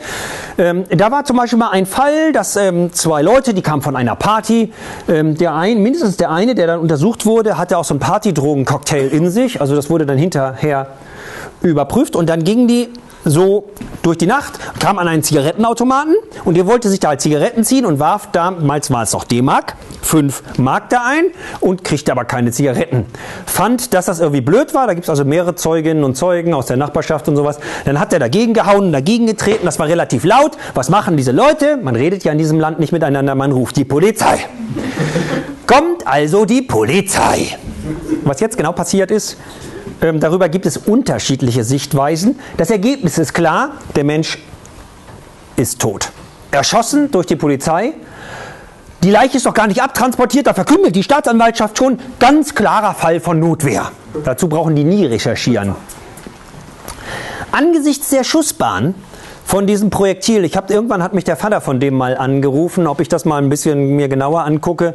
Ähm, da war das war es allerdings schon Jahre her, aber der kriegte das so mit, wie ich mit Akten und so umgehe. Die Schussbahn von diesem Projektil war der Einschlag war über dem Steißbein, dann diagonal durch den Körper, zerfetzt die Aorta und bleibt unter dem Schlüsselbein stecken. Das ist eine Schussbahn, die nur entstehen kann, wenn diese Person so vor der Polizei stand, wie ich jetzt äh, vor euch stehe, oder sogar auf der Erde gelegen hat. Da ist der Notwehr, also man muss schon mal ein bisschen genauer hingucken vielleicht, aber das dafür, das war halt jemand, die waren halt auf, auf einer Party, das interessiert auch keine Sau. Dieser Fall hat überhaupt niemanden interessiert. Es ist sowieso so, Polizei ähm, tötet und verletzt sehr, sehr häufig Leute, das interessiert normalerweise niemanden. Es interessiert eigentlich immer nur dann, wenn irgendwas Spektakuläres noch da so reinkommt. Das in, war in dem zweiten Fall, auch aus Thüringen, auch in der Region Nordhausen. Darf ich schnell fragen, was hat das mit der Anwaltskanzlei zu tun, der Automat? Kommt, wieso? Also das, der zuständige Innenminister sitzt hier, ne? Der zuständige Innenminister, der dafür sorgt, dass da ähm, die, die, Polizei so handelt. Also hier sitzt Dr. Karl-Heinz Gasser, der Innenminister von Thüringen. Aber den Schwenk zurück kriege ich gleich. Zweiter Fall ein, ähm, also dieser zweite Fall ist wesentlich bekannter geworden. Und zwar deshalb, weil es eingebunden war in einen Kontext, in so einer, so einer Art Medienhype, das ist ja manchmal so, dass irgendetwas so ein Thema wird, ne? Boris Becker heiratet oder irgendwie so diese wichtigen Dinge des Lebens. So gab es einmal eine Geschichte, das wird ja auch häufiger gemacht, man das mit irgendwelche sogenannten Schwerkriminellen auf alle Schlagzeilen bringt, damit wir denken, dass Kriminalität im Dunkeln und zwischen sich nicht bekennenden Leuten stattfindet und ganz viel gemordet wird und so. Das stimmt zwar nicht, also die Kriminalitätsstatistiken sagen alle das genaue Gegenteil aus und die fast alle Gewalttaten finden zwischen Leuten statt, die sich kennen. Von daher, wenn man da was machen soll, wenn man Angst hat, sollte man vielleicht lieber in dunkle Wälder gehen und weniger in Diskotheken.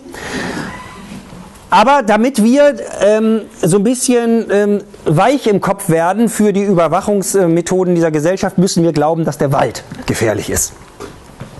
So, und deshalb jagt man ab und zu mal so irgendwelche Horrorgeschichten durchs Land. Und da gab es mal eine, auch schon ein Weilchen her, vielleicht können Sie sogar einige erinnern. Das war jemand, der galt als Frauenmörder. Mag ja sein, ich kenne den nicht weiter. Der hieß Dieter Zurweme. Der war dann ausgerissen und galt als gefährlich und bewaffnet und rannte so durch die Republik und alle waren völlig kirre und überall hing dessen Fahndungsbild und Aktenzeichen XY machte eine Sondersendung nach der anderen. Und das Ergebnis, falls hier Polizisten unter uns sind, die können das sicherlich bestätigen, das Ergebnis von sowas ist, überall rufen Leute an und sagen, ah, der ist hier gerade vorbeigegangen. Also wenn jetzt gerade nach Dieter Zurweme gefahndet würde, würde sicher irgendjemand im Raum hier in Verdacht kommen, Dieter Zurweme zu sein. Den sehen dann alle ständig. Das ist ja auch, wer Aktenseiten XY sich schon mal angeguckt hat, diese Propagandasendung gefühlter Kriminalität. Am Ende gibt es immer ganz tausende von Anrufen. Das sind diese absurden Anrufe von allen Leuten, die das immer sehen, äh, die immer genau dem Täter begegnen. Das ist natürlich totaler Unsinn. Und so gab es bei Dieter Zurweme auch ganz viele, die den jetzt entdeckt hatten, weil es war überall seine Plakate, also sieht man den auch überall. So war es auch in Nordthüringen in einer Pension. Der Pensionswirt rief da an bei der Polizei und sagte, Dieter Zurwem hat bei mir ein Zimmer genommen. Nun rufen da so viele an, dass sie nicht jedes Mal ein Sondereinsatzkommando dahin schicken können, was sie tun würden, wenn es wirklich Dieter Zurweme ist. Also schicken sie eine normale Streifenpolizei dahin. Und die geht jetzt durch diese Pension durch und klopft an dem Zimmer von möglicherweise Dieter Zurweme. Geht also der Mensch auf der anderen Seite, tut jetzt etwas, was recht nachvollziehbar ist, geht zur Tür und macht die auf. Die Polizei davor ist sich jetzt wohl am Überlegen, was ist eigentlich, wenn das wirklich Dieter Zurweme ist und er jetzt mit seiner AK-47 da steht und uns niederplättet. Naja, und vor lauter Angst, als die Tür aufgeht, haben beide schon so die Knarre in der Hand und der eine schießt sofort.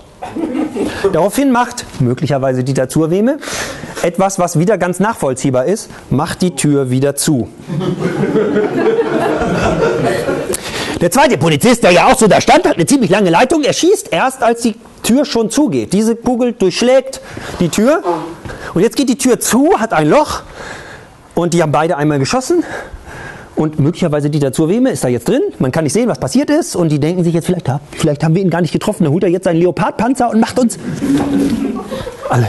Und vor lauter Panik laufen sie davon. Vier Stunden später kommt ein Kommando der äh, Sondereinsatzkommando und betritt dieses Haus, wie man das so gewöhnt ist. Nicht? Also die haben, glaube ich, noch nie die, die Funktion von Türklinken erklärt bekommen und ähm, stürmen in dieses Zimmer und finden den Rentner Friedhelm Beate aus Wuppertal angeschossen und in der Zwischenzeit jämmerlich verblutet. Der war gerade in Rente gegangen und hatte sich gewünscht, einmal quer durch Deutschland zu wandern. Bis zum Küffhäuser ist er gekommen und dann wurde er mit Sita Zurweme verwechselt. Der Staatsanwalt hat sofort gesagt, Notwehr. Ist ja klar, nicht? Das ist ja in deren Textcomputer. Die haben sich dann auch rührend um diese beiden Polizisten gekümmert, die meines Erachtens mit ihrer Handlung ganz klar den Straftatbestand des Mordes erfüllt haben. Denn an eine Tür zu klopfen, sich öffnen zu lassen und dann zu schießen, erfüllt alle Kriterien des Hinterhältigen. Da würde niemand äh, ohne, aber die sind noch nicht mal verhört worden, die sind in psychologische Betreuung genommen worden. Derweil man sich um die Angehörigen von Friedhelm Beate überhaupt nicht gekümmert hat. Seine Frau kam an dem Vormittag vom Einkaufen zurück und sah vor ihrer Wohnung ein Heer von Übertragungswagen mit Satellitenschüsseln und so weiter. Denn das Ganze war ja jetzt eingebettet in diesen Medienhype um Dieter Zurweme. Sonst hätte sich niemand für Friedhelm Beate interessiert. Und fragte die, hä, was stehen Sie denn hier rum? Und die Journalisten sagten, oh, Sie wissen doch gar nicht, dass Ihr Mann mit Dieter Zurweme verwechselt wurde und erschossen wurde? Nö. Das fand die Polizei ziemlich uninteressant, sich da mal drum zu kümmern. Sie haben sich lieber um ihre, so meines Erachtens strafrechtlich, Mörder gekümmert. Ja, eine Krähe hackt anderen kein Auge aus. Also, Fall, ähm, dieser Fall war dann so bekannt allerdings, dass man den nicht einfach versickern lassen konnte. Und so zettelten die, ein, gab es ein Strafverfahren gegen die, weil eigentlich ist ja ziemlich klar, meines Erachtens eben klar Mord und auf jeden Fall auch unterlassene Hilfeleistung, als sie weggelaufen sind. Und jetzt stand das vor Gericht und jetzt mussten sie sich was ausdenken und das ist ein, da sieht man halt, was Gerichte Justiz ist, also wie Gerichte arbeiten. Die, die arbeiten halt daran, bestimmte Leute zu bestrafen, sieht man in den Knisten, wer da sitzt, und bestimmte Leute reinzuwaschen. Und das machen wir mit allen Mitteln. Unter anderem gab es dort ein unglaublich berühmtes polizeipsychologisches Gutachten. Nämlich freigesprochen wurden diese beiden Polizisten nach diesem Gutachten. Und da drin ist zu lesen, dass sich bei Polizeibeamten in Erregungssituationen unbemerkt der Zeigefinger krümmen kann. Warum das bei anderen Leuten nicht der Fall ist, habe ich bis heute nicht verstanden. Und was ich, ich habe auch nicht verstanden, die eigentlich sinnvolle Reaktion wäre ja, alle Polizisten sofort zu entwaffnen. Denn äh, einen Zeigefinger haben die alle. Ist aber übrigens etwas, wenn ich heutzutage vor Gericht stehe und da kommt ein Polizist als Zeuge, beantrage ich ihn immer, dass er entweder seine Waffe oder seinen Zeigefinger draußen lassen muss. Beides zusammen kommt hier nicht rein. Dritter Fall, Bambule-Demo in Hamburg, also so ein Wagenplatzräumung vor einigen Jahren. Das waren ja immer so ein bisschen so Festspiele ähm, der Straßenschlacht, wo dann viele auch hingefahren sind, dieses Spaßes. Darunter auch eine Truppe der thüringische Bereitschaftspolizei, auch ein Vorgang, der eine gewisse Bekanntheit bekommen hat. Ähm, die ähm, haben nämlich das was gemacht, was sie gerne machen, knüppelten ordentlich in diese Demo rein. Das interessiert normalerweise keine Sau. Außer man erwischt halt irgendwelche Leute, die besonders nach Demonstrant aussehen, nämlich Angestellte der schleswig-holsteinischen Zivilpolizei in Demonstrantenuniform sind. Und die haben sie ordentlich zusammengeknüppelt, obwohl die ein sehr seltsames Codewort gerufen haben. Und die waren dann so sauer und haben die angezeigt.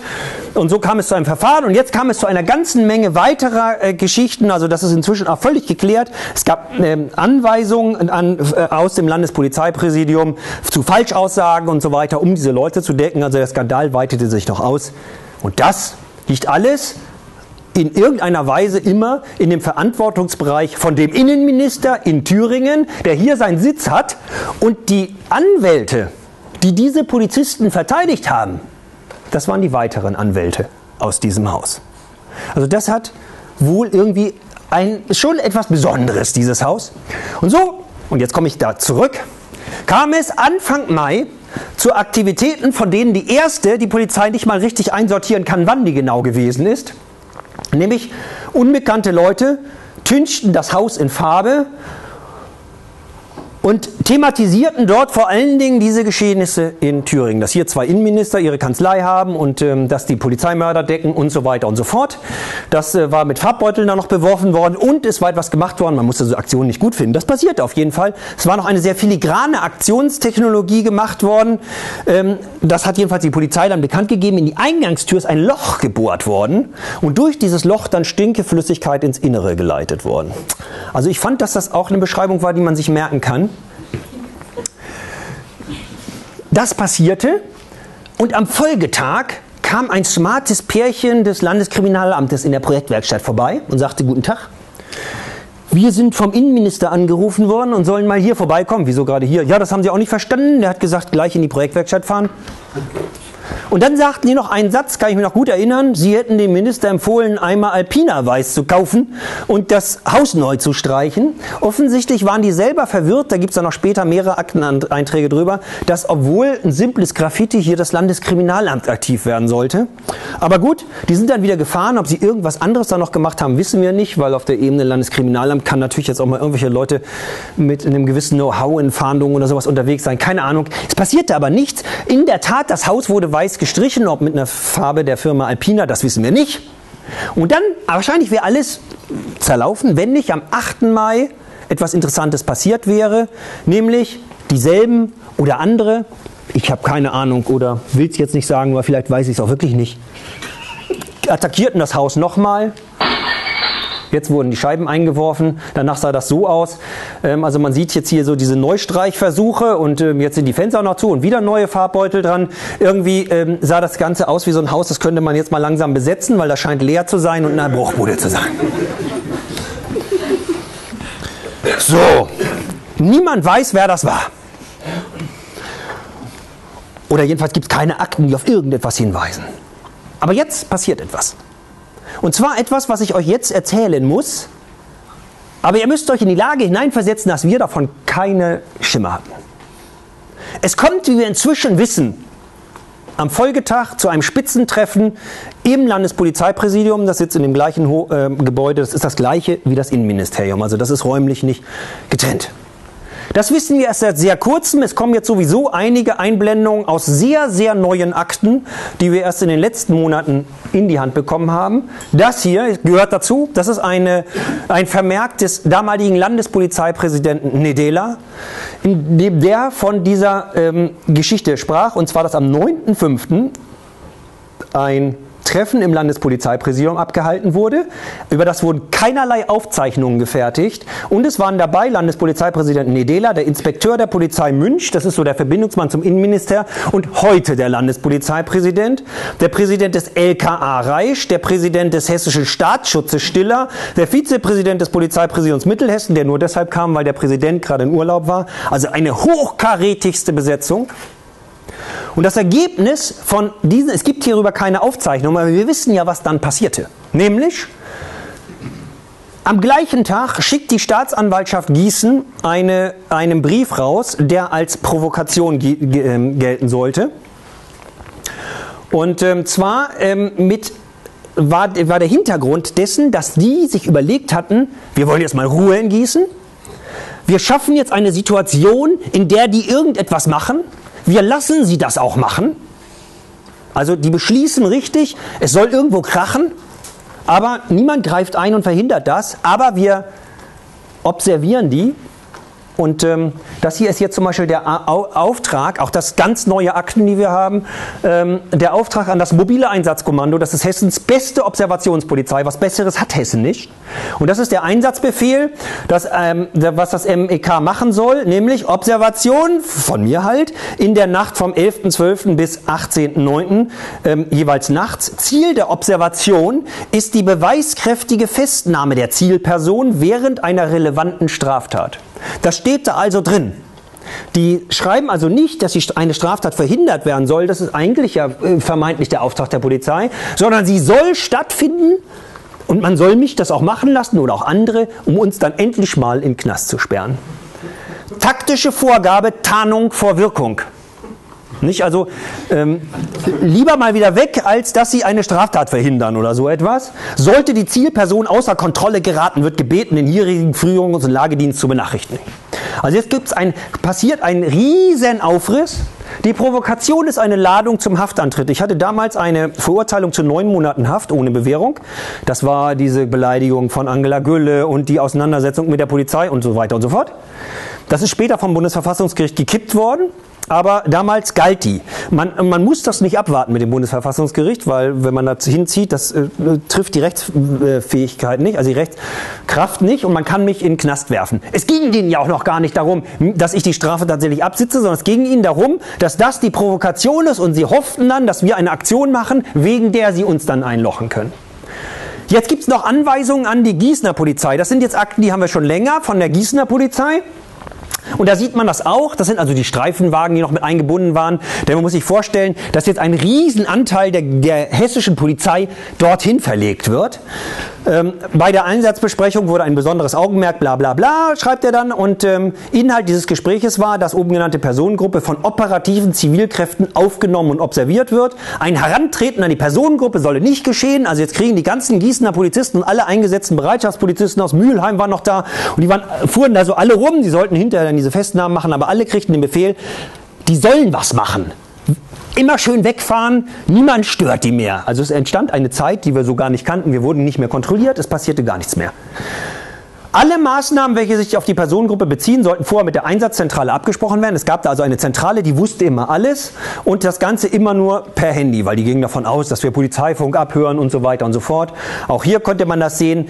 Ähm, wieder noch ein anderer ähm, Beamter. Weitere offene Maßnahmen sollten unterbleiben, da sich operative zivile Einheiten im Stadtgebiet Gießen befinden, die die Verfolgung verdächtiger Personen aufnehmen und auf frischer Tat ertappen wollen. Da steht es also auch nochmal. Es geht darum, dass eine Straftat stattfindet und das gut dokumentiert wird, um mal endlich einen Strafprozess aufziehen zu können, wo man dann richtig ein Ergebnis hat. Wo haben Sie die Dokumente her? Alle Stück für Stück ähm, ergaunert, also diese neuesten Sachen, ähm, diese neuesten Sachen jetzt bei dem Gang vor dem Oberlandesgericht, die Klageerzwingung, das ist ja erst, ja, ja, das sind alles Polizei und Gerichts, alles Polizeiakten. Also diese neuesten Sachen sind alle die, wozu das hier zum Beispiel auch gehört. Das ist das Ergebnis einer Landeskriminalamtsermittlung zu dem ganzen Fall. Das sind Akten von 2008 schon und die sind lange, lange liegen geblieben. Die haben genauso lange gewartet mit der Einstellung des Verfahrens, dass ich einen gerichtlichen dann beantragen konnte. Das habe ich ja im Herbst letzten Jahres gemacht und verloren mit der Begründung, ha, die fünf Jahre sind um. Und damit ist die Verjährung eingetreten. Das haben die sehr geschickt gemacht. Das Ermittlungsergebnis gibt, ist aber schon aus dem Jahr 2008, aber wir haben die Akten eben jetzt seit äh, so anderthalb Monaten. Und da sieht man auch nochmal, ähm, das ist halt auch so ein Auszug aus diesen Landeskriminalamtermittlungen dazu, also jetzt äh, die, die 2008 gemacht haben, Überwachungsmaßnahmen in Sachen Kanzleibeschmierung sowieso mit der Ziel der Festnahme von eventuellen Tätern, insbesondere Bergstedt. Also die wissen schon, wen sie festnehmen sollen, das ist alles klar, nur die Tat fehlt noch. So muss man sich, das zeige ich jetzt vorher, das wissen wir alles nicht. Bei uns ist es relativ langweilig. Wir haben ja, kriegen ja nicht mehr so viele Aktionen hin. Uns ärgert dieser ähm, Haftantritt natürlich. Und ähm, wir, ähm, ich stelle einen Antrag beim Verfassungsgericht, dass sie, dass sie das aussetzen sollen, aber es passiert auch erstmal nichts. Ähm, und wir sitzen dann da rum und kriegen aber auch gar nicht mit, was um uns herum passiert. Nämlich in der Tat, das mobile Einsatzkommando stellt sich um uns herum. Das war unter anderem hier hinten, im Hintergrund ist die Projektwerkstatt, das Grundstück, also bis hier vorne. Da geht so eine Straße so lang. Und hier ist so ein Feldweg und da stand dieser Wagen zum Beispiel. Und so sah es auf der anderen Seite von den Straßen auch so auf. Als Firmenwagen dort, als Reichskirchener Firmenwagen deklariert, da sitzt niemand drin. Und das haben wir dann irgendwann später, als alles durch war, heraus, das war einer der ähm, Wagen des mobilen Einsatzkommandos. Die haben das halt so gemacht, dass sie dort ihre Überwachungstechnik Technik hatten und das allerdings per Funksignal dann an Werken woanders hin übertragen wurde, denn das ist ja anders wie hier in Fulda. Das fällt alles sofort auf in diesem Dorf. Also sitzen die ein Dorf weiter vor Bildschirmen und mit Kopfhörer und verfolgen das Ganze. Wir wissen davon gar nichts und überlegen halt, was machen wir denn und es ist auch ärgerlich. Und es kommt dann ein Wochenende, 12. bis 14. Mai. Und da sind ein paar Leute, da läuft ein Seminar in der Projektwerkstatt, ganz harmlos, wir sind auch nicht viele. Und dann ist Samstagabend und dann überlegen wir, ach, wir wollen eh mal wieder Containern fahren. Also die Projektwerkstatt ist weitgehend gratis ökonomisch organisiert. Wir leben von den Resten dieser ähm, um, äh, Republik, um unabhängig sein zu können. Das ist unser wesentlicher Anlass. Wir wollen unbestechlich sein und wir wollen nicht immer irgendwie gucken, dass wir an Staatskohle rankommen oder von diesem und jedem ähm, abhängig sein. Also äh, organisieren wir uns unsere Nahrungsmittel aus, dem, aus Supermarktcontainern. Und das haben wir an dem Samstag da wieder machen wollen. Und dann haben wir überlegt, das ist immer so eine Strecke, da fahren wir relativ lang bis nach Gießen und dann wieder so zurück über so irgendwelche Supermärkte auf dem Land dort. Das ist so, da fährst du halt, das, wir sind ungefähr 20 Kilometer von Gießen entfernt. Da fährt man also ein bisschen lang und das machten wir jetzt ähm, dort auch. Und jetzt überlegten wir allerdings, ey, wenn wir sowieso nach Gießen fahren, die sind doch bestimmt nervös wegen diesem Haftantritt, machen wir doch noch mal irgendeine Provo-Aktion. Und wir haben tatsächlich echt eine ziemlich platte Provo-Aktion gefahren. Also da will ich überhaupt nicht behaupten, dass das ein hohes politisches Niveau hatte. Wir haben schon häufiger häufiger solche Aktionen gemacht. Ne? Also ist auch ganz nett, wenn die irgendwie aufgeregt sind. Nehmt euch mal irgendwie so eine Blechdose oder eine Plastikdose, schmeißt einen Kronkorken rein und rennt dann so irgendwie durch den Park oder an der Mauer entlang. Hört sich an wie diese ähm, Klackerdosen mit Graffiti. Also nach kurzer Zeit ähm, hast du so einen Rattenschwanz an Polizisten und dann haben wir irgendwelche Süßigkeiten dabei und verteilen die oder sowas. Sowas machen wir schon häufig, aber dazu fahren wir natürlich nicht extra nach Gießen, sondern das machen wir, wenn wir da sowieso sind. Und so dachten wir uns, ey, komm, wenn wir sowieso nach Gießen machen, wir fahren irgendwo hin und machen irgend so eine Nummer. Und was dachten wir uns aus? Wir fahren auf das Gerichtsgelände, genau an dem Ort, wo auch diese Gedichtelesung mal war, wo es schön hell ist, unter diesem Vordach. Aber nicht schon wieder Gedichtelesung, was machen wir denn diesmal? Ah, wir spielen Federball. Und ähm, das ist jetzt nicht besonders politisch, ne? aber ähm, so unsere Geschichte ist dann natürlich auch immer so, damit wir uns nicht in irgendwelche Gespräche verwickeln lassen äh, und am Ende noch das Problem auftritt, dass man durch die Begegnung dann noch irgendwelche Sachen erzählt oder so etwas, üben wir quasi immer, dass wir das Gesprächsthema mit der Polizei diktieren und das ist dann eben dieses Federballspiel, nicht also ähnlich wie mit dem Kameragottesdienst, hatte ich auch schon mal erzählt. Bei dem Federballspiel hatten wir gesagt, egal was die uns fragen, wir bauen es immer auf das Federballspiel um. Also wenn die sagen, hier ihre Personalien bitte, nee, ach, das ist echt viel zu klein, nehmen Sie lieber einen Schläger. Wir hatten extra noch Schläger mit, damit die mitspielen können und wenn die uns mitnehmen, ey, kann man bei euch denn auch Federball spielen? Wir wollten immer nur über Federball sprechen, egal was die uns fragen. Da macht man halt keine Fehler und erzählt irgendwelchen Unsinn. So, jetzt muss er sich die Situation also so vorstellen. Die, ich hatte euch erzählt, was deren Plan war und auf welcher Ebene das angesiedelt waren, träumten davon, uns endlich mal einen Knast zu kriegen. Sie opfern irgendwas, geht noch kaputt, brennt ab, was auch immer. Die denken ja, dass wir solche Sachen machen. Beweis dafür haben sie nicht. Und äh, hoffen das jetzt aber und sitzen da angespannt schon drei Nächte herum und nichts passiert. Und dann kommt die Nacht vom 13. auf den 14. ungefähr 0 Uhr und fünf Leute fahren von der Projektwerkstatt runter mit Fahrrädern, mit Rucksäcken und sogar einem Fahrradhänger mit Körben drin. Alles natürlich leer, wir wollen ja Containern. Wissen die aber ja nicht und denken sich, oh, Ich bin mir todsicher, was jetzt als Meldung vom mobilen Einsatzkommando an die Einsatzzentrale in Gießen gegangen ist. Sie fahren los. Es geht los. Irgendwas noch opfern und dann ist Ruhe in Hessen. Wir kümmern uns da nicht drum. Wir wollen ja mit denen Federball spielen. Also interessiert uns auch nicht, ob wir schon observiert werden. Wenn die uns schon zugucken, umso besser, dann kommen die früher. So sehen wir auch nicht, ob die mit uns mitfahren. Sie müssten ja irgendwie mit uns mitfahren, sonst macht das Ganze ja keinen Sinn. Außerdem hatten die noch ähm, aus allen mittelhessischen Polizeistationen und von der Bereitschaftspolizei Mülheim jede Menge reguläre Einheiten als Ring um das Ganze aufgebaut, damit wir hinterher auch festgenommen werden können. Und wenn wir uns jetzt bewegen, kann man sich vorstellen, wir kommen irgendwann mal an den Rand vom Ring und dann trifft man auf Streifenwagen. Das durfte aber ja nicht passieren passieren. Und da haben wir zum Beispiel auch jetzt schon relativ lange ein Vermerk von einem solchen Streifenwagen. Gegen 1 Uhr wurde von der Einsatzzentrale per Handy mitgeteilt, dass sich die Leute per Fahrrad und Bollerwagen in Richtung Gießen bewegen und so weiter und so fort. Im Rahmen der Streife wurden mehrere Personen entdeckt, bei denen es sich um die betreffenden Personengruppe handeln könnte. Das scheint jetzt also ein Streifenwagen zu sein, der da in der Ecke sitzt, wo wir jetzt quasi so auf diesen Ring treffen. Und dann geht es so weiter. Eine Meldung an die Einsatzzentrale erfolgt umgehend, worauf die Einsatzzentrale anordnete, dass sich hiesige Streife sich unverzüglich aus diesem Bereich zu entfernen hat. Die dachten jetzt natürlich, oh scheiße, jetzt treffen die auf ein Polizeiauto und dann machen die ihre Aktion nicht mehr. Das darf nicht passieren. Die Polizeistreife ist noch im alten Modus und wundert sich. Auf Nachfrage wurde angeordnet, dass man sich komplett zurückziehen solle und auch ein verdecktes Aufstellen im Nahbereich nicht zu erfolgen hat. Okay, also alle weg. Wir fahren so und wie man so wie irgendwelche komischen Leute das Meer teilen können, so konnten wir die Polizeikräfte teilen und alle fahren immer weg und äh, wir kommen immer näher an Gießen heran, merken nichts davon, weil wir auch nicht drauf achten.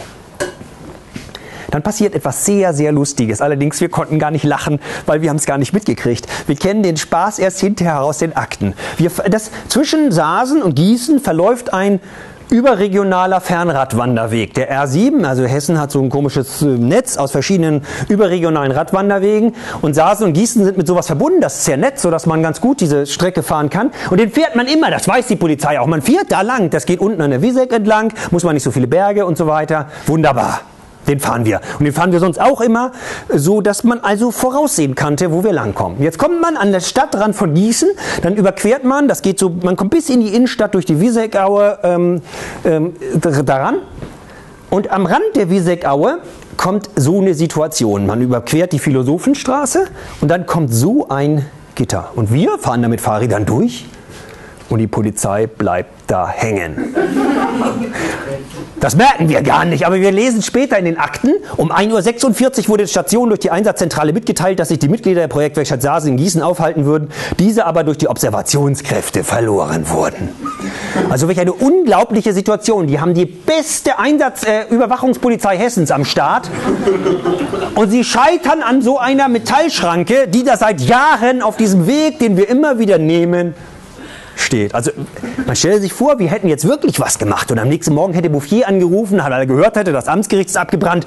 Und, alles klar, habt ihr sie? Äh, äh, nee. Wieso nicht? Ey, da war so eine Metallschranke.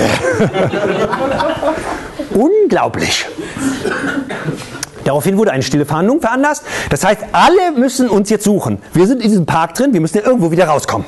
Also rundherum, nicht mit Lalülala und Hubschrauber, sondern stille Fahndung. Irgendwie wollen die uns ja wiederfinden.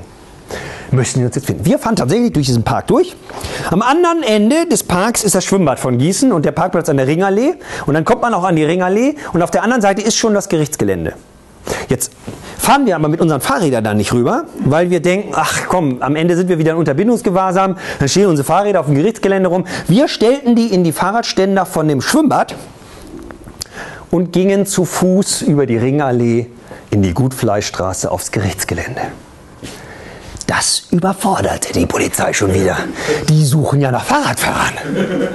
Und so gelang das Unglaubliche, nämlich dass wir trotz trotz Top-Bewachung, was Besseres haben die nicht, auf das Gerichtsgelände gelangen konnten, unbemerkt.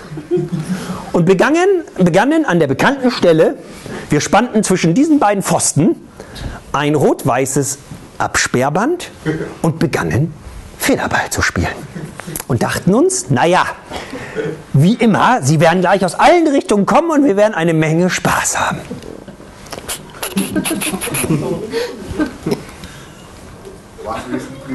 Dann fuhr ein Polizeiwagen da vorbei. Latschte auf die Bremse, guckte in unsere Richtung, fing an zu telefonieren. Das war genau das, was wir erwartet haben. Ah, jetzt werden sie alle Leute zusammenrufen und dann kommt, müssen sie wieder hinten rumfahren, wie bei der Lesung damals, und spielen endlich mit. Dachten wir so. Und dann fuhren sie tatsächlich nach rechts weg und wir dachten, ja, so eine Minute noch. Zwei Minuten, drei Minuten. Nichts geschah. Das kratzte sehr stark an unserem Selbstbewusstsein. Gießener Polizei weiß, dass wir auf dem Gerichtsgelände mitten in der Nacht Federball spielen und interessiert sich nicht für uns. Was geht ab? Wir lesen das aus dem Vermerk von dieser Polizeistreife. Im Rahmen dieser Maßnahmen konnten am 14.05. gegen 1.42 Uhr, es beginnt jetzt langsam interessant zu werden, wer das noch kann, sich zu konzentrieren, sich die Zeiten zu merken. 1.26 Uhr haben sie uns verloren, 1.42 Uhr finden sie uns wieder, geben die Polizeiakten her. Gegen 1.42 Uhr durch die Streife zwischen den Gebäuden des Amtsgerichts und der Staatsanwaltschaft, zwei Personen haben sie dann nur gesehen, waren jetzt nicht nur zwei, aber egal, zwei haben sie gesehen, aus dem Streifenwagen heraus beobachtet werden. Unmittelbar nach Erkennen dieser Person gab der das dann weiter. Und jetzt kommt natürlich das, was wir nicht wussten. Sie kriegten natürlich die Anweisung, Maßnahmen zu unterlassen, da zivile Kräfte an die Personengruppe herangeführt werden soll. Jetzt also, juhu, wir haben sie. Huh, ein Glück. Und sie hat noch nichts angezündet. Der Abend kann noch gut werden aus Sicht der Polizei. Schicken Sie jetzt also das mobile Einsatzkommando, was zu diesem Zeitpunkt, werden wir gleich sehen, an einer ganz anderen Stelle stand, ähm, auf das Gerichtsgelände und Jetzt geht es hier weiter.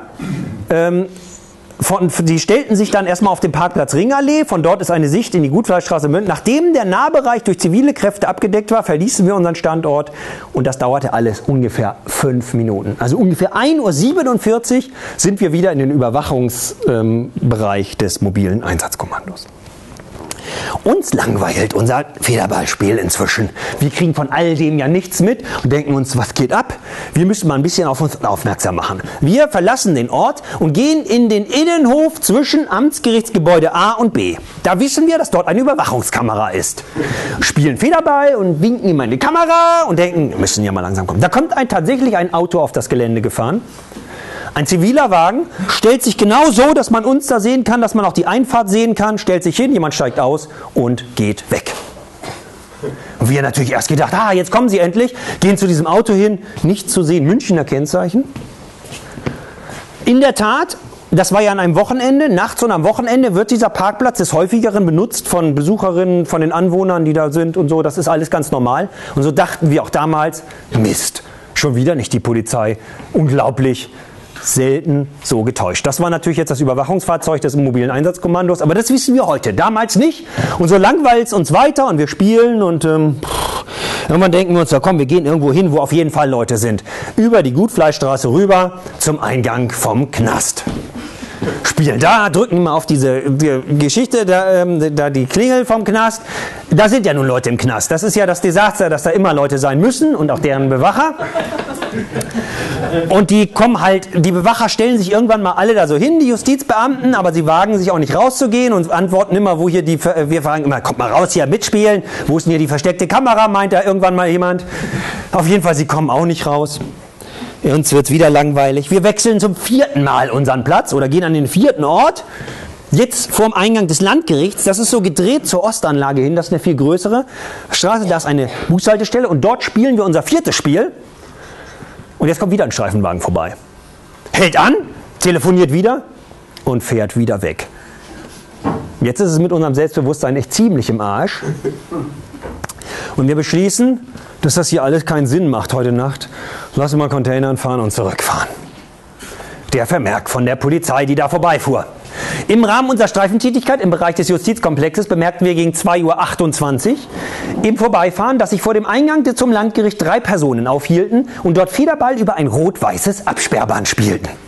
Dann fuhren die erstmal ein bisschen weiter und kommen dann nochmal da vorbei, das haben wir dann gar nicht mehr gemerkt, und berichten dann, dass wir durch die, die Gutfleischstraße Richtung Ringerlee gehen und zwar um 2.47 Uhr. Verlassen wir dort das Gelände wieder, gehen durch die Gutfleischstraße wieder über die Ringallee zu dem Parkplatz, wo unsere Fahrräder stehen und fahren nicht auf dem R7, sondern jetzt auf die Hinterhöfe von Supermärkten zickzack durch den Landkreis. Wir sind ziemlich frustriert. Das war jetzt irgendwie nicht so der Hit. Aber wahrscheinlich die Polizei auch. Hatte die nämlich zwischenzeitlich, nachdem sie ja Adrenalin hatten, nachdem sie uns verloren hatten, dann fanden sie uns wieder und dann stellten sie natürlich irgendwann auch fest, die spielen ständig Federball.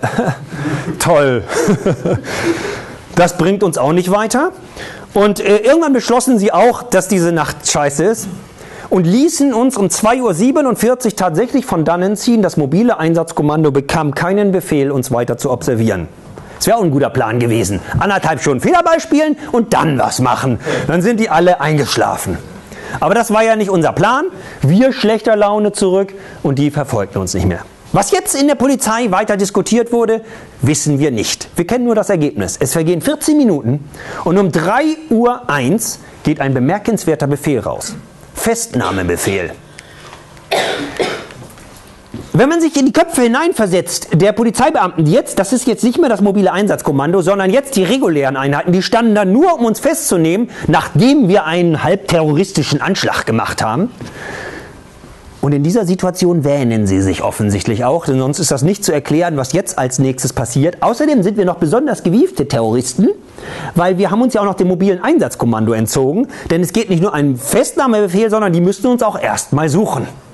Das wird eine Stunde 19 dauern, weil sie wie blöd den R7 absuchen, aber wir irgendwo auf irgendwelchen Hinterhöfen von Supermärkten in Containern wühlen. Es dauert recht lange, bis die uns wiederfinden, nämlich ungefähr auf der Hälfte des Weges zwischen Sasen und Gießen. Da liegt der Ort Großenbusek. Dort treffen wir wieder auf den R7 und die Polizei entdeckt uns. Das geben die durch. Wir kriegen das alles immer noch nicht mit und fahren jetzt wir fahren immer auf diesem R7 jetzt wieder.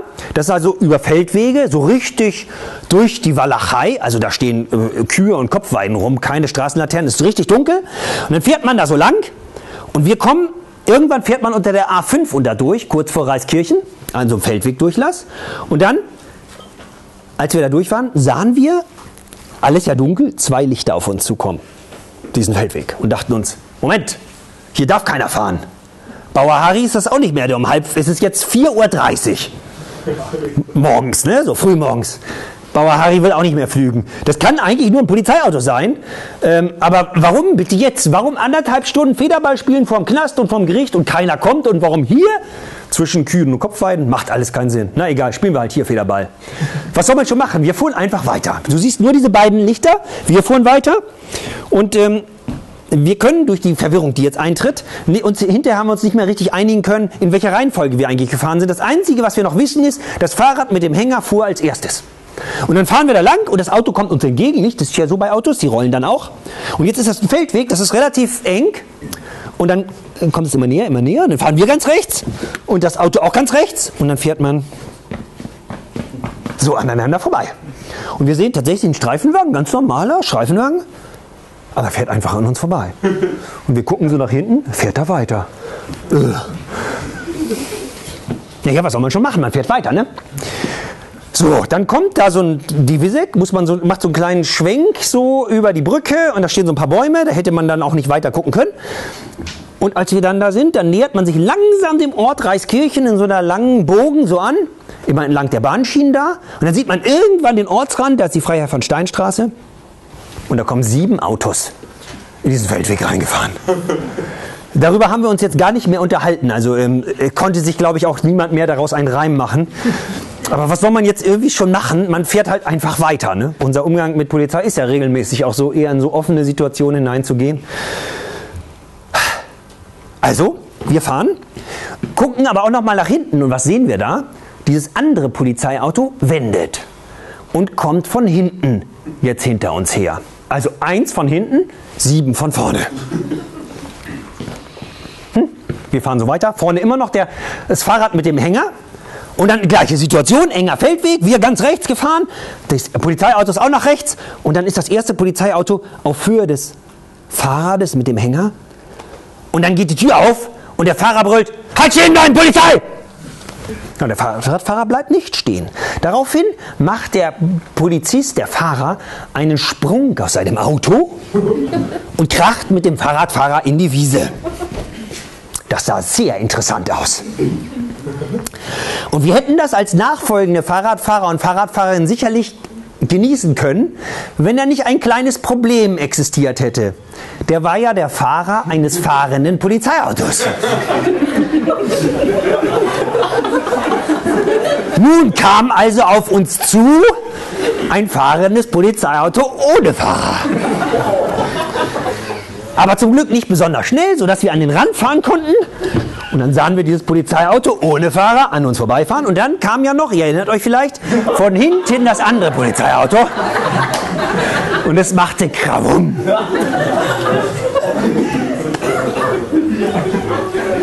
Jetzt kann es natürlich sein, dass ihr euch denkt, was hat der sich denn eingeworfen, um so einen Scheiß zu erzählen?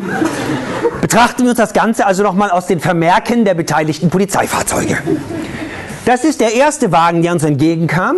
Wir befuhren den Radweg daraufhin auftragsgemäß in Richtung Großen Budseck und konnten dann gegen 4.30 Uhr im Scheinwerfer unseres Funkstreifenwagens eine Dreiergruppe Radfahrer ausmachen. Bla bla bla bla, wie wir da so unterwegs waren, Fahrrad mit Hänger und so weiter. Ich verständigte daraufhin per Funk hiesige Einsatzzentrale und teilte mit, dass die drei fehlenden Personen soeben unseren Funkstreifenwagen auf dem Radweg passiert hatten und forderte weitere Streifenzwecksunterstützung an. Gleichzeitig wendete Polizeioberkommissar Pfeiffer mit unserem Fahrzeug auf dem Radweg und wir folgten der Dreiergruppe bis kurz vor die Einmündung Freiherr von Streinstraße. Von dort kam dann zur Unterstützung zunächst eine Streife der Polizeistation Gießen Süd, die die Dreiergruppe von vorn stoppte. Hierbei verselbstständigte sich beim Verlassen des Fahrzeugs der beiden Kollegen deren Funkstreifenwagen und prallte dann gegen unseren Funkstreifenwagen und wurde so gestoppt.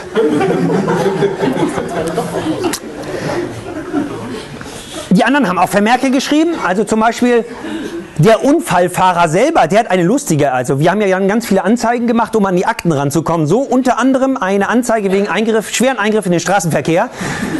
Man muss sich ja was ausdenken, die Akte muss entstehen. Und der hat sich dann eine interessante Aus äh, Ausrede einfallen lassen. Er hat nämlich den festgenommen und als er dann wieder den zu seinem Wagen schleppen konnte, hier stand doch eben noch mein Wagen. Nun bemerkte ich, dass unser Funkwagen nicht mehr an selbiger Stelle stand. Polizeikommissarin Jakubay teilte mir mit, dass sich unser Funkwagen verselbstständigt hatte und auf den gegenüberstehenden Streifenwagen gerollt sei. Ja, ja, also Krawom, große Auf... hat er gar nicht mitgekriegt. In dem Wagen gab es auch noch einen Beifahrer. Das war sicherlich nicht der hellste, weil sonst hätte der vielleicht mal die Handbremse gezogen oder so etwas. Der schreibt auch, er stieß frontal wenige Meter entfernt mit dem oben genannten Streifenwagen in der Polizeistation Gießen zusammen. Also das hätte man jetzt wieder genießen können, das ist filmreif. Aber das konnten wir wieder nicht, weil jetzt hielten natürlich alle, stürzten raus, warfen sich auf uns, hielten uns direkt Pfefferspray an den Kopf. Wenn ihr euch auch nur irgendwie bewegt, dann sofort drücken wir ab und so weiter. Die waren ja in einem halbterroristischen Einsatz. So jedenfalls ihre eigene Ideologie, die sie sich da gezimmert hatten. So wurden wir dann festgenommen und ins Polizeipräsidium geschleppt. Unsere Sachen wurden durchsucht. Und da gibt es eine Beschlagnahmeliste. Das typische Besteck, also einer halbterroristischen Gruppe in Deutschland, sieht so aus. Ein vier Badmintonschläger, eine Plastiktüte mit alten Brotscheiben und noch ein paar gebrauchte Teebeutel und so weiter.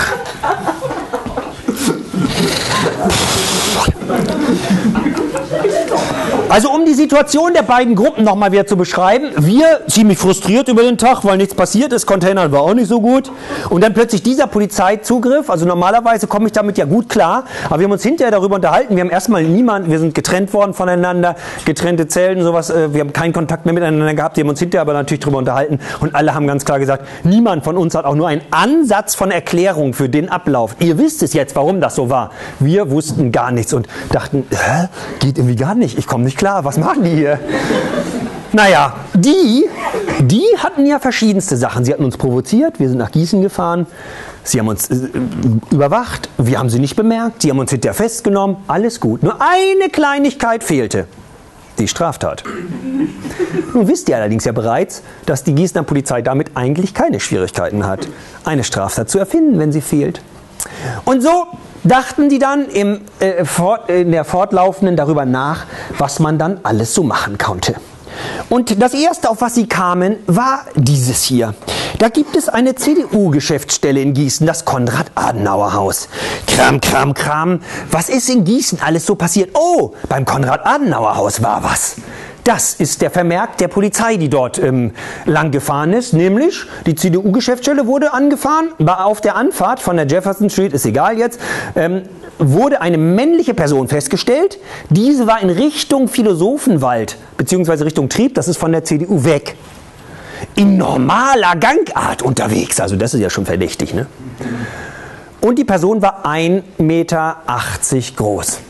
Dieser Vermerk wird im Laufe der Nacht von der Polizei benutzt, um mir zu unterschieben, unterzuschieben, dass ich einen Anschlag auf die Polizei, auf die CDU machen wollte und von der Polizei gestört worden bin.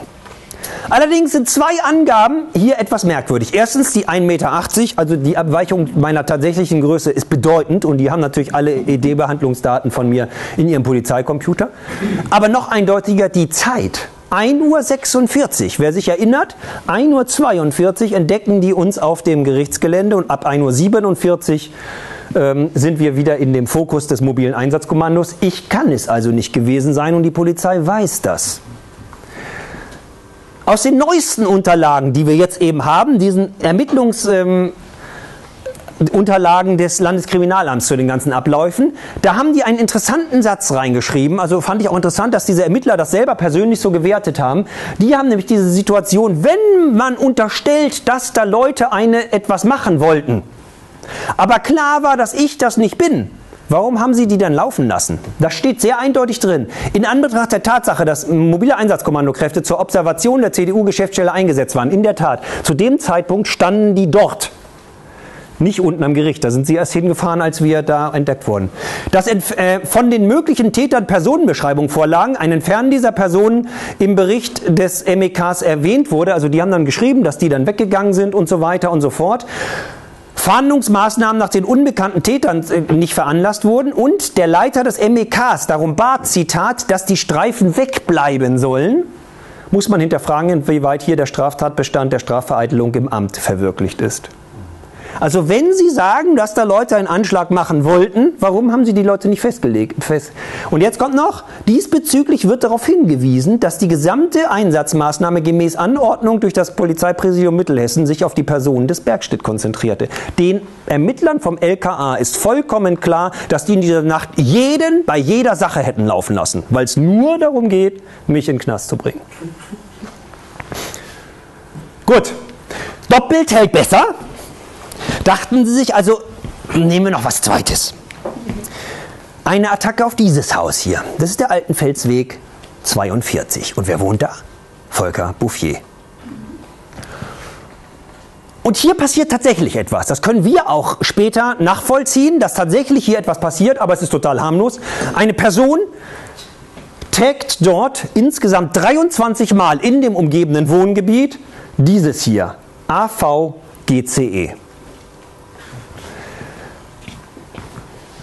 Als er es an zwei Häuser weiter von Bouffier macht, also daran kann man schon sehen, offensichtlich kein politischer Aktivist, da hätte man nämlich gewusst, dass da Bouffier wohnt und da kann man nicht einfach mal was ansprühen, wird die Person gestellt, verjagt oder was auch immer die Polizei macht dazu einen Bericht. Das ist von dem Polizeichef vom Dienst, der da in der Nacht Dienst hatte, der zusammenfassende Bericht. Und das Relevante hier ist zur Tatzeit-Eingrenzung, dass diese Tags zwischen 2.38 Uhr und 2.43 Uhr gemacht wurden.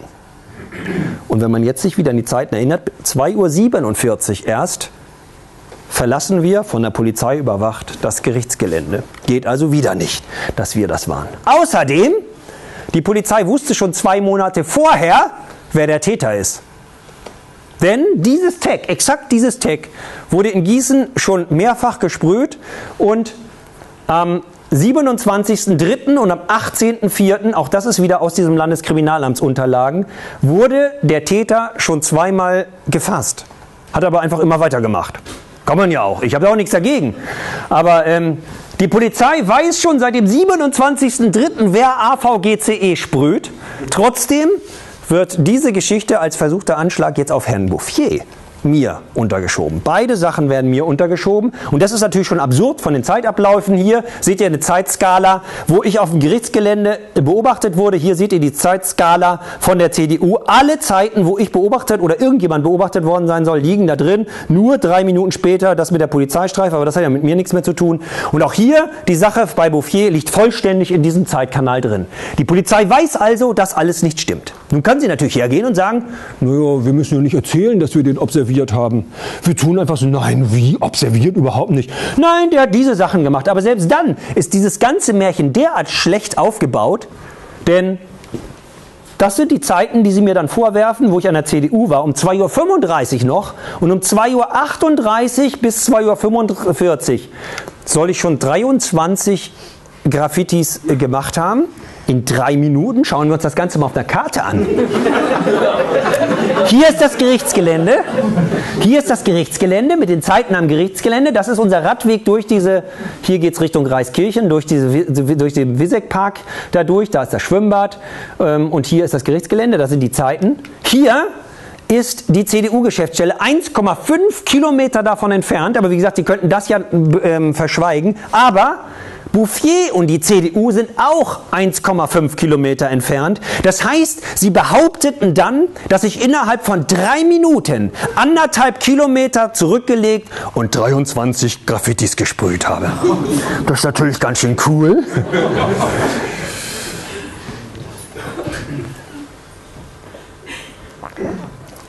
Mit dieser Geschichte, der böse Sachen gemacht, gehen Sie jetzt zur Bereitschaftsstaatsanwältin und wollen einen Untersuchungshaftbefehl, aber es ist ein bisschen dumm. Nach erfolgter Erkennungsdienst, auch das jetzt wieder aus den Landeskriminalamtsunterlagen, die wir erst seit kurzem haben. Nach erfolgter erkennungsdienstlicher Behandlung wurde die Entlassung des festgenommenen Bergstedt durch die Bereitschaftsstaatsanwältin Fleischer verfügt. Steht da drin. Und die machen es nicht. Das heißt, die Polizei, die eine Hilfsbehörde der Staatsanwaltschaft ist, widersetzt sich einfach der Staatsanwaltschaft und macht jetzt ein neues Manöver, wo sie die Staatsanwaltschaft nämlich nicht braucht. Sie bastelt das um und benutzt die mir untergeschobenen Straftaten, um mich in Unterbindungsgewahrsam zu nehmen mit Behauptung, ich könnte das ja sonst weitermachen und deshalb muss ich in Unterbindungsgewahrsam, nicht mehr in Untersuchungshaft und da braucht man die Staatsanwaltschaft nicht. Und folglich schreiben sie, nachdem das Manöver also nicht klappt, werde ich nicht entlassen, sondern sie versuchen die nächste Nummer, ein Antrag auf Unterbindungsgewahrsam, das ist er, der Kopf jedenfalls davon, der Staatsschutzchef von Gießen, der hat in der Zwischenzeit gewechselt, so in den Anfang, die Anfangsgeschichten, da hatte der auch noch so einen coolen Namen, der hieß der Herr Puff. Jetzt heißt er nur noch Herr Mann. Also das ist ganz schön langweilig geworden in Gießen alles. Der schreibt also diesen Unterbindungsgewahrsamsantrag und äh, da schreibt er tatsächlich in dem Unterbindungsgewahrsamsantrag an den Amtsrichter diese Zeiten hinein. Also ich muss im Nachhinein ja noch sagen, wie kann man denn so blöd sein? Also tatsächlich 2.13 Uhr, 2.27 Uhr, 2.35 Uhr an der CDU, 2.43 Uhr dann schon am Altenfelsweg und da soll ich schon gesprüht haben. Da braucht der Richter nur hinzugehen und zu, mal zu blättern auf dem Stadtplan und dann zu seiner Polizei zu sagen, der war früher selber mal Polizist, der Herr Gotthard, der Amtsrichter. Naja, also ich finde ja auch, der Bergstedt muss mal hinter Gittern, ne? aber können Sie sich mal was Intelligenteres einfallen lassen? Ich würde vorschlagen, Sie fahren nochmal zurück und kommen mit einem neuen Antrag. Könnte er ja machen. Aber offensichtlich glaubt der Polizei so viel, dass er nicht mal hinguckt. Er hätte auch, wenn er sich das durchgelesen hätte, nicht nur gemerkt, dass das physisch nicht geht, sondern er hätte auch gemerkt, dass dieser Text voll Absurditäten nur so strotzt. Zum Beispiel dieser Satz, einer meiner Lieblingssätze. Bla bla bla, zwei männliche Personen, beide dunkel gekleidet, eine davon mit weißem Kapuzenpulli.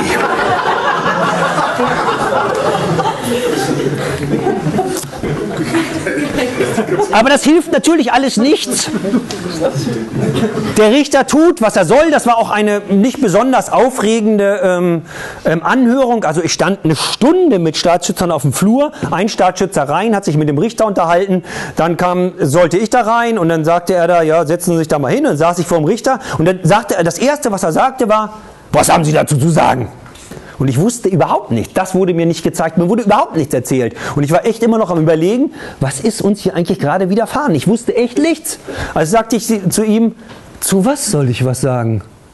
Daraufhin machte Richter Gotthard eine bemerkenswerte Bemerkung, die hieß, ich stelle hier die Fragen. Aha, meinte ich. Dann wird die Kommunikation wahrscheinlich ziemlich schwierig. Aber ist auch egal, sagte ich. Egal, was Sie mir vorwerfen. Die Polizei hat mich doch beobachtet, was ich gemacht habe. Und damit meinte ich diese beiden Streifenwagen, weil vom MEK wusste ich ja nichts. Aber die beiden Streifenwagen, die hatte ich ja gesehen. Und erzählte, dass ich da Federball gespielt habe. Sagte und dann der Richter, wollen Sie sagen, dass, ich, dass Sie observiert worden sind? Nee, meine ich so viel nicht. Also ich habe die beiden Streifenwagen. Und dann sagte er noch, kann ich mich gut erinnern, nehmen Sie sich nicht so wichtig.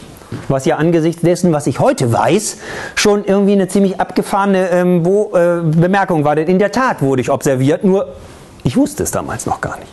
Naja, also Richter Gotthard macht etwas, was physisch nicht geht, aber Richter sind die wahrheitsschaffende Instanz, sie haben ja eine quasi gottähnliche Stellung in dieser Gesellschaft, sie definieren, was wahr oder was nicht wahr ist. Es ist nicht der, der Mörder, ist nicht der Täter, sondern der Verurteilte, das ist die Logik. Und so hat er, das ist jetzt der Beschluss vom Amtsgericht, und er hat tatsächlich die Dinge festgestellt, die physisch nicht gehen, nämlich, dass ich am 2.37 Uhr an der CDU war und um 2.45 Uhr bei dem Herrn Bouffier.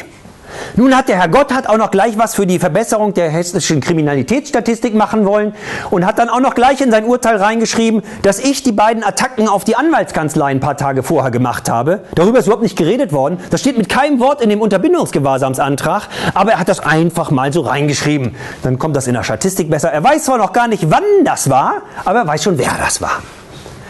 Gründe? Fehlanzeige. Das Einzige, was ein bisschen ein Grund ist, ist der Satz hier in der Mitte, wo er, wo er ableitet, warum ich das überhaupt alles gewesen sein soll. Und da steht, dass auf der Internetseite der Projektwerkstatt Sasen für dieses Wochenende kreative Antirepressionstrage angekündigt worden sind. Nun denn, wenn es so wäre, so what? Aber es stimmt noch nicht einmal. Warum steht dieser Satz da? Weil die Staatsschutzbeamtin Kowski, die inzwischen für uns wieder zuständig war, erzählt hat, dass dieses Tag die Abkürzung für kreative Antirepressionstage gewesen ist. Also ja, also ich fand das auch recht schwierig, mich da hineinzudenken. Wir wissen sogar inzwischen, was AVGCE heißt. Das ist relativ platt. Anne Röder Viertel, Gießen City East.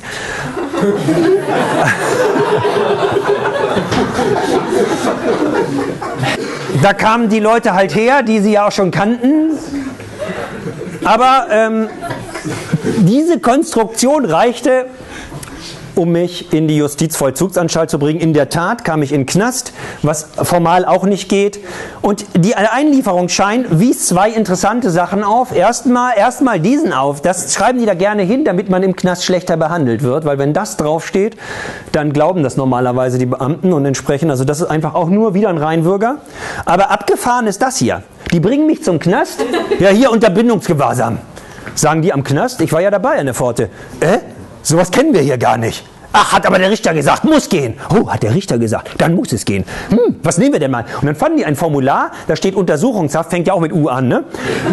Und ähm, haben das dann durchgestrichen und daraus Unterbringungsgewahrsam, so heißt das auch nicht, sondern Unterbindungsgewahrsam. Das wissen die alles nicht und so kam ich dann halt in den Knast.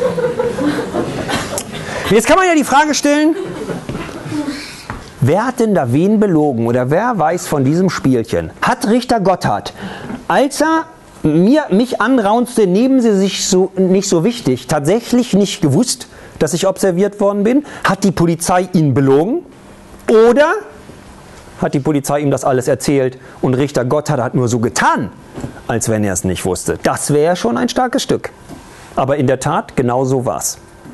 Und woher wissen wir das, dass die Polizei Richter Gotthard alles erzählt hat? Das liegt daran, dass Richter Gotthard entweder ein guter Advokat ist oder ein schlechtes Gedächtnis hat. Jedenfalls hat er den Unterbindungsgewahrsamsantrag genommen und an der Stelle, wo in dem Antrag, den ich ja nie zu sehen bekommen habe, notiert war, dass ich observiert worden bin, machte er einen Haken an die Seite und schrieb drüber, nicht sagen. Das ist schon ganz schön blöd. Und sowas haben wir irgendwann mal, also auch im Original in der Hand gehabt. Das ist eindeutig die Schrift von Richter Gotthard. Und das hier ist damit ein vollständig bewiesener Fall einer Rechtsbeugung. Rechtsbeugung ist ein problematischer Paragraph. Das hängt mit der Vergangenheit in Deutschland zusammen. Also 19, äh, so nach 1945 haben sich diese ganzen Richter, die ja unter dem Nationalsozialismus Scheiße gebaut haben, ohne Ende, natürlich gedacht, wie können wir der Entnazifizierung entgehen?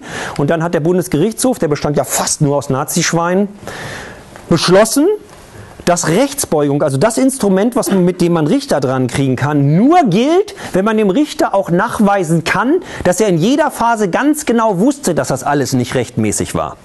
Also bei Bankräubern und sowas muss man das nicht nachweisen, dass die, dass die das auch wussten, dass das verboten war. Einem Richter kann man nur ans Fell gehen, wenn man nachweisen kann, dass der wusste, dass er Falsches gemacht hat. Das kann man natürlich praktisch nie. So haben die Richter dann gesagt, oh, ach so, es gab gar kein Gesetz, dass wir die Juden vergasen sollten. Aber wir dachten, wenn Adolf das sagt, ist das Gesetz. Dann fragt man natürlich, was haben Sie eigentlich die ganze Zeit gemacht, als Sie studiert haben oder so etwas. Aber man kann das ja nicht nachweisen, dass Sie nicht wirklich so drauf sind. Also ist kein, die, die Justiz ist ja der einzige Bereich, wo die Entnazifizierung wirklich die, exakt die Quote von 0,0 hatte. Das hier ist eine der wenigen Ausnahmen. Das ist eindeutig ein Nachweis, dass der Richter gewusst hat, dass das nicht stimmt, was er macht. Weil er war so blöd, das selber zu notieren. Aber noch nicht, gehen wir noch nicht mal auf die juristische Aufarbeitung ab. Die setzt nämlich erstmal noch ein nach dem anderen drauf. Das hier ist auch nochmal wieder eins aus diesen Landeskriminalamtsermittlungen, die wir jetzt halt ganz neu haben.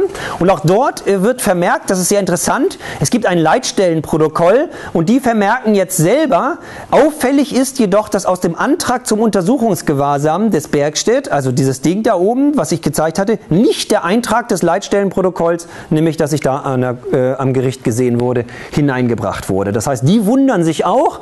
Die Polizei hat nachweislich klar gewusst, wo ich bin, hat das aber nicht in den Unterbindungsgewahrsam reingetan. Natürlich ist klar, warum das da nicht reingekommen ist, aber es fällt selbst den Ermittlern der Landespolizei selber auf. So, es geht jetzt erstmal noch weiter. Der 14. hat ja gerade erst angefangen und am 14. Mai die, machen die natürlich das, was sie immer machen, eine Durchsuchung erstmal der Projektwerkstatt und sie machen das auch so, wie sie es fast immer machen, ohne Durchsuchungsbeschluss. Sie machen eine Absprache wieder mit der Staatsanwaltschaft, dass sie dort nach den Schablonenteilen suchen. Das ist aber ja Blödsinn, sie wussten ja, ähm, dass sie da nichts finden. Mitgenommen haben sie auch tatsächlich nur Kalender und so weiter. Außerdem kommt dann der 15. Mai 2006, ein Tag später. Also ich sitze inzwischen äh, in, äh, ich bin inzwischen im Polizeigewahrsam in Frankfurt gelandet über mehrere Umwege. Haben die dann auch festgestellt, Knast ist gar nicht richtig. Bin ich in diesen dann später als Weltmeisterschaftsknast eingenutzten ähm, Ding da gewesen. Und die anderen sind in der Zwischenzeit wieder entlassen worden sind aber natürlich immer noch keine Ahnung, was da abgelaufen ist. Und jetzt macht die Polizei am ersten Werktag das, was sie immer macht. Sie macht eine Presseinfo dazu. Und jetzt lesen wir hier spannende Sachen, bla bla bla. Ähm, und den schönsten Satz finde ich, ähm, dass Sie über die Festnahme schreiben, im Rahmen des differenzierten polizeitaktischen Konzepts. Ach, ja, das glaube ich auch, dass es sowas gewesen ist. Und dann wurden Leute festgenommen. Das ist aber jetzt gar nicht spannend, der Text. Etwas anderes ist an diesem hier spannend. Und zwar die Uhrzeit. 18.18 Uhr. 18. Das ist vollkommen ungewöhnlich. Und jetzt passiert eine kleine Panne. Jetzt hilft uns jemand, der uns absolut hasst. Der ähm, Stadtredaktionschef der Gießener Allgemeine, Herr Tamme, der ist ein Sozialhetzer übelster Sorte. Der hat schon mal Texte gemacht darüber, dass die Parkbänke nicht für Obdachlose da seien und so weiter. Wir haben auch so Hetzer Tamme äh, äh, eine Internetseite gemacht. Also der mag uns nicht. Aber jeden Samstag macht er eine Kolumne da, ähm, in der Zeitung, wo er schreibt, was er für ultra tolle Sachen in der Woche gerissen hat. Und da gibt er so an, Poster so rum, dass er herausgefunden hat, warum das so lange gedauert hat. Und dieser Kommentar, den er da abseiert, bringt ihn hier ins Spiel. Volker Bouffier. Und ich bin mir sicher, dass sich Guido Tamm inzwischen in den Arsch beißt, dass er diesen Kommentar veröffentlicht hat. Denn der lautet so, lange Zeit im Dunkeln tappte die Redaktion am vergangenen Montag bei der Suche nach einer polizeilichen Pressemitteilung, deren Übermittlung bereits am Vormittag angekündigt worden war. Dabei stellte sich der Sachverhalt auf den ersten Blick recht einfach dar, dann hetzt er über uns ab, kommt es jetzt nicht drauf an. Als die Nachricht auch am Nachmittag noch nicht eingetroffen war, erfuhren die Journalisten, dass die Mitteilung der Gießener Polizei einen Umweg über den neunten Stock des hessischen Innenministeriums Innenministeriums in Wiesbaden gemacht hat. Die Presseinfo zu dem ganzen Vorfall kommt vom Schreibtisch von Volker Bouffier. Und es ist wohl sowieso wahrscheinlich. Die Gießener Polizei ist überhaupt nicht in der Lage, derartige Einheiten zu bewegen. Und inzwischen wissen wir auch, dass die ganze Aktion im Innenministeriumshaus vorbereitet worden ist. Das wussten wir aber lange nicht. Das ist der erste wirkliche Beleg dafür, dass Volker Bouffier hinter der Geschichte steht. Aber es geht ja erstmal noch weiter. Jetzt kommt der 16. Mai 2006, da kommt wieder was Lustiges. Die Staatsschützerin Kowski hat am 14. diese Handschuhe, die haben also bei diesem Menschen, der da gesprüht hat, die behaupten ja, der sei dann geflüchtet. Und dann präsentieren sie ein Bild, wo sie die Sachen gefunden haben von dem. Das ist ein sehr lustiges Bild. Da liegt die Schablone als unterstes, die Sprühdose liegt da ordentlich drauf und die Handschuhe liegen da auch ordentlich drauf. Also, wenn man sich in die Situation hineinversetzt, dass man da irgendwo sprüht und von der Polizei ähm, entdeckt wird, dann wird man vielleicht, wenn man klug ist, ist die Schablone und die Sprühdose clean, also keine Fingerabdrücke, die kann man dann fallen lassen. Aber die Latexhandschuhe, wer schon mal Latexhandschuhe angehabt hat, die ziehe ich nicht so eben mal aus. Ich mache das auch nicht so, dass ich zu der Polizei sage, halt, ihr wollt doch bestimmt meine Handschuhe. Dann bleibt noch ein Augenblick da steht, ich muss mir die gerade mal ausziehen. Also die Wahrscheinlichkeit, wenn jemand wegläuft, dass die Handschuhe auf der Folie liegen, ist null. So sieht das aus, wenn man den festnimmt, ihm die Sachen abnimmt und ihr dann sagt, geh mal, wir brauchen deine Tat, aber nicht dich als Täter. Trotzdem schickt die Staatsschützerin Kowski mit Booten noch am 14. diese Handschuhe zum Landeskriminalamt, um sie auf DNA untersuchen zu lassen. Warum sie das gemacht hat, ist uns bis heute unklar. Möglicherweise, sie kommt morgens im Dienst, hat sie auch eine gewisse Periode die ganze erfundene Story geglaubt. Denn sonst macht das ja keinen Sinn. Die wussten ja, dass meine DNA da nicht drin sein konnte. Am 16. kommt dann das Ergebnis vom Landeskriminalamt wieder zurück und lautet so, konnten DNA einer männlichen Person gesichert werden. Ein Abgleich mit der DNA-Datenbank verlief negativ. Das heißt, der Beschuldigte kommt nicht als Träger der Handschuhe in Frage. Jetzt hätte ich ja spätestens entlassen werden müssen, weil jetzt habe ich auch noch ein DNA-Gutachten auf meiner Seite. Aber Kowski wird das in der Schublade verschwinden lassen und gar nichts passieren. Beihilfe zur Freiheitsberaubung, also eine ganze Menge Leute stapeln hier eine ganze Menge erheblicher Straftaten. Völlig eindeutig nachweisbar. Dann kommt der 17. und das ist der erste Tag, der nicht mehr so ganz günstig verläuft. Es passieren mindestens zwei Sachen. Nämlich der erste ist, die Frankfurter Rundschau bekommt offensichtlich von äh, irgendwelchen Polizisten aus Gießen gesteckt, dass die sauer sind über diesen Einsatz. Also die, so ein bisschen kann man aus dem Text herbeilesen, dass die Gießener aus dieser ganzen Geschichte ableiten, dass die auf Landesebene sie wohl für zu blöd gehalten haben und deshalb so Landeskommandos dahin geschickt haben, um Bouffier seine Kanzlei zu ähm, schützen. Auch da steht hier irgendwo drin, dass man, ähm, dass man das bei einem Privathaus wohl nicht gemacht hätte. Und dann rattert das Faxgerät beim, bei der Staatsanwaltschaft Gießen und es meldet sich das äh, Verfassungsgericht und sagt, hey, Moment, ihr habt den schon eingesperrt wegen der Sache, wo wir noch drüber verhandeln, den lasst mal wieder frei. Die Vollstreckung der Freiheitsstrafe wird ausgesetzt, sagt das Bundesverfassungsgericht. Und damit ist auch diese ganze Nummer, die die da abziehen wollten, ich sollte dann ja die neun Monate da absitzen, äh, im Anschluss auch gescheitert. Und sie müssen jetzt spätestens am 17. mich eigentlich entlassen. Das tun sie immer noch nicht. Ich komme am 18. erst frei. Aber egal, irgendwann bin ich tatsächlich wieder raus. Jetzt sind wir alle draußen. Wir wissen durch den FR-Artikel inzwischen aber ja schon, mobiles Einsatzkommando haben sie hier gegen uns eingesetzt. Da beginnt es im Kopf zu rattern. Ihr kennt ja die ganze Story jetzt schon. Für uns ist es der erste Hinweis, was hier eigentlich Seltsames abgelaufen ist. Mobiles Einsatzkommando Einsatzkommando, ähm, Schwerstkriminalität, Terrorismus oder sonst was. Was läuft hier eigentlich gerade gegen uns ab? Aber dann sucht man danach und nach einiger Zeit finden wir dann diesen Wagen. Dadurch, dass wir die anderen aufspüren. Wir spüren die Wägen auf, wo die Leute drin sitzen und können daraus rückschließen, wo stehen die Überwachungswagen. Wir haben die dann einfach alle zugeklebt und dann äh, auf die Straße mit Kreide gemalt und sowas. Das ist in so einem Dorf schon ein bisschen aufregend. Und irgendwann haben die dann auch diese ganzen Wagen weggefahren und am nächsten Morgen war einfach alles weg. Ob wirklich alles weg war, wissen wir nicht. Vielleicht haben wir noch irgendwas hinterlassen. Aber äh, dieses mobile Einsatzkommando war weg. Und jetzt begann die Jagd nach den Akten. Dreieinhalb Monate hat es gedauert, bis wir diese allerersten Akten hatten, woraus ich zitiert hatte von diesen Streifenwagen. Dreieinhalb Monate wussten wir weiterhin nichts. Und dann kamen wir an diese Akten und sahen, die haben uns beim Federballspielen beobachtet. Ist ja unglaublich. Die haben sich das alles äh, ausgedacht, obwohl sie es besser wussten. Und dann fingen wir an, diese Zeittabellen zusammenzustellen und haben gedacht, das ist ja total abgefahren. Äh, wenn das bekannt wird, daraus kann man ja irgendwas Fettes machen. Währenddessen aber, währenddessen aber ging natürlich die ganze Repression. Das war jetzt gescheitert. Aber sie suchten etwas Neues, wie sie uns hinter Gitter bringen konnten. Und was fanden sie? 20 Tage nach dem 14.05 war der 2.6. Das war die offen angekündigte Feldbefreiung am Gengersteacker in Gießen. Und das ist, finde ich, in diesem Kontext sehr, sehr interessant. Wir haben das öffentlich angekündigt. Das, das ist eingezäunt, bewacht. Normalerweise, wenn du sowas öffentlich ankündigst, machst du das als politische Provokation, um eine Debatte zu erzeugen. Du weißt ganz genau, du kommst dann da nicht hin. Wenn du da hinkommen willst, machst du das heimlich und nachts. Oder tagsüber als Gärtner verkleidet. Subversion, wie gesagt, eine perfekte Waffe. Oder als Polizist verkleidet auch. Immer eine gute Nummer. Wir haben das tagsüber gemacht hessische Hessenschau stand da und alle haben geguckt und wir, äh, dann kam dieser zweite Sechste und äh, wir dachten natürlich, werden wir jetzt sofort abgehalten, begannen dann so ein bisschen an dem äußeren Zaun rumzuprokeln, aber es passierte nichts. Und jetzt war es natürlich ein bisschen schwierig, weil wir hatten gesagt, wir greifen das an ähm, und ja, wir sind bis auf das Feld raufgekommen. Die Polizei hat uns auf das Feld laufen lassen und uns erst auf dem Feld nach ähm, festgenommen. Und ich finde, dass es kein anderes Erklärungsmodell gibt, als dass sie das Gengerstefeld geopfert haben, um endlich eine sauber nachgewiesene Straftat zu haben. Sie haben dann noch Glück gehabt, dumm sind sie halt trotzdem, dass der Hessenschau gefilmt hat, weil in dem Prozess dann gegen uns hatten die dann ihr eigenes Überwachungsvideo, da fuhren hinten im Hintergrund ähm, Autos vorbei und ich meinte ja, äh, wie, was, äh, da sind ja, ist ja öffentlicher Raum zu sehen. Haben Sie denn auch ein Schild hingestellt, äh, dass er Video überwacht wird? Äh, nee, ja, dann können Sie den Video jetzt wohl wegschmeißen, ne? illegal gefilmt. Aber die hatten zum Glück die Hessenschauaufnahmen. Und jetzt passiert ja was sehr Interessantes auch. Also der Kontext, finde ich, ist ziemlich auffällig. Wir sind zu viert auf dieses Feld draufgegangen. Gegen zwei ist wegen Geringfügigkeit eingestellt worden und ich habe ein halbes Jahr im Knast absitzen müssen. Also da ist offensichtlich eine offene Rechnung beglichen worden, die nichts mit der Gentechnik zu tun hat, sondern hier hat die Innenpolitik ein forschungspolitisches Projekt geopfert.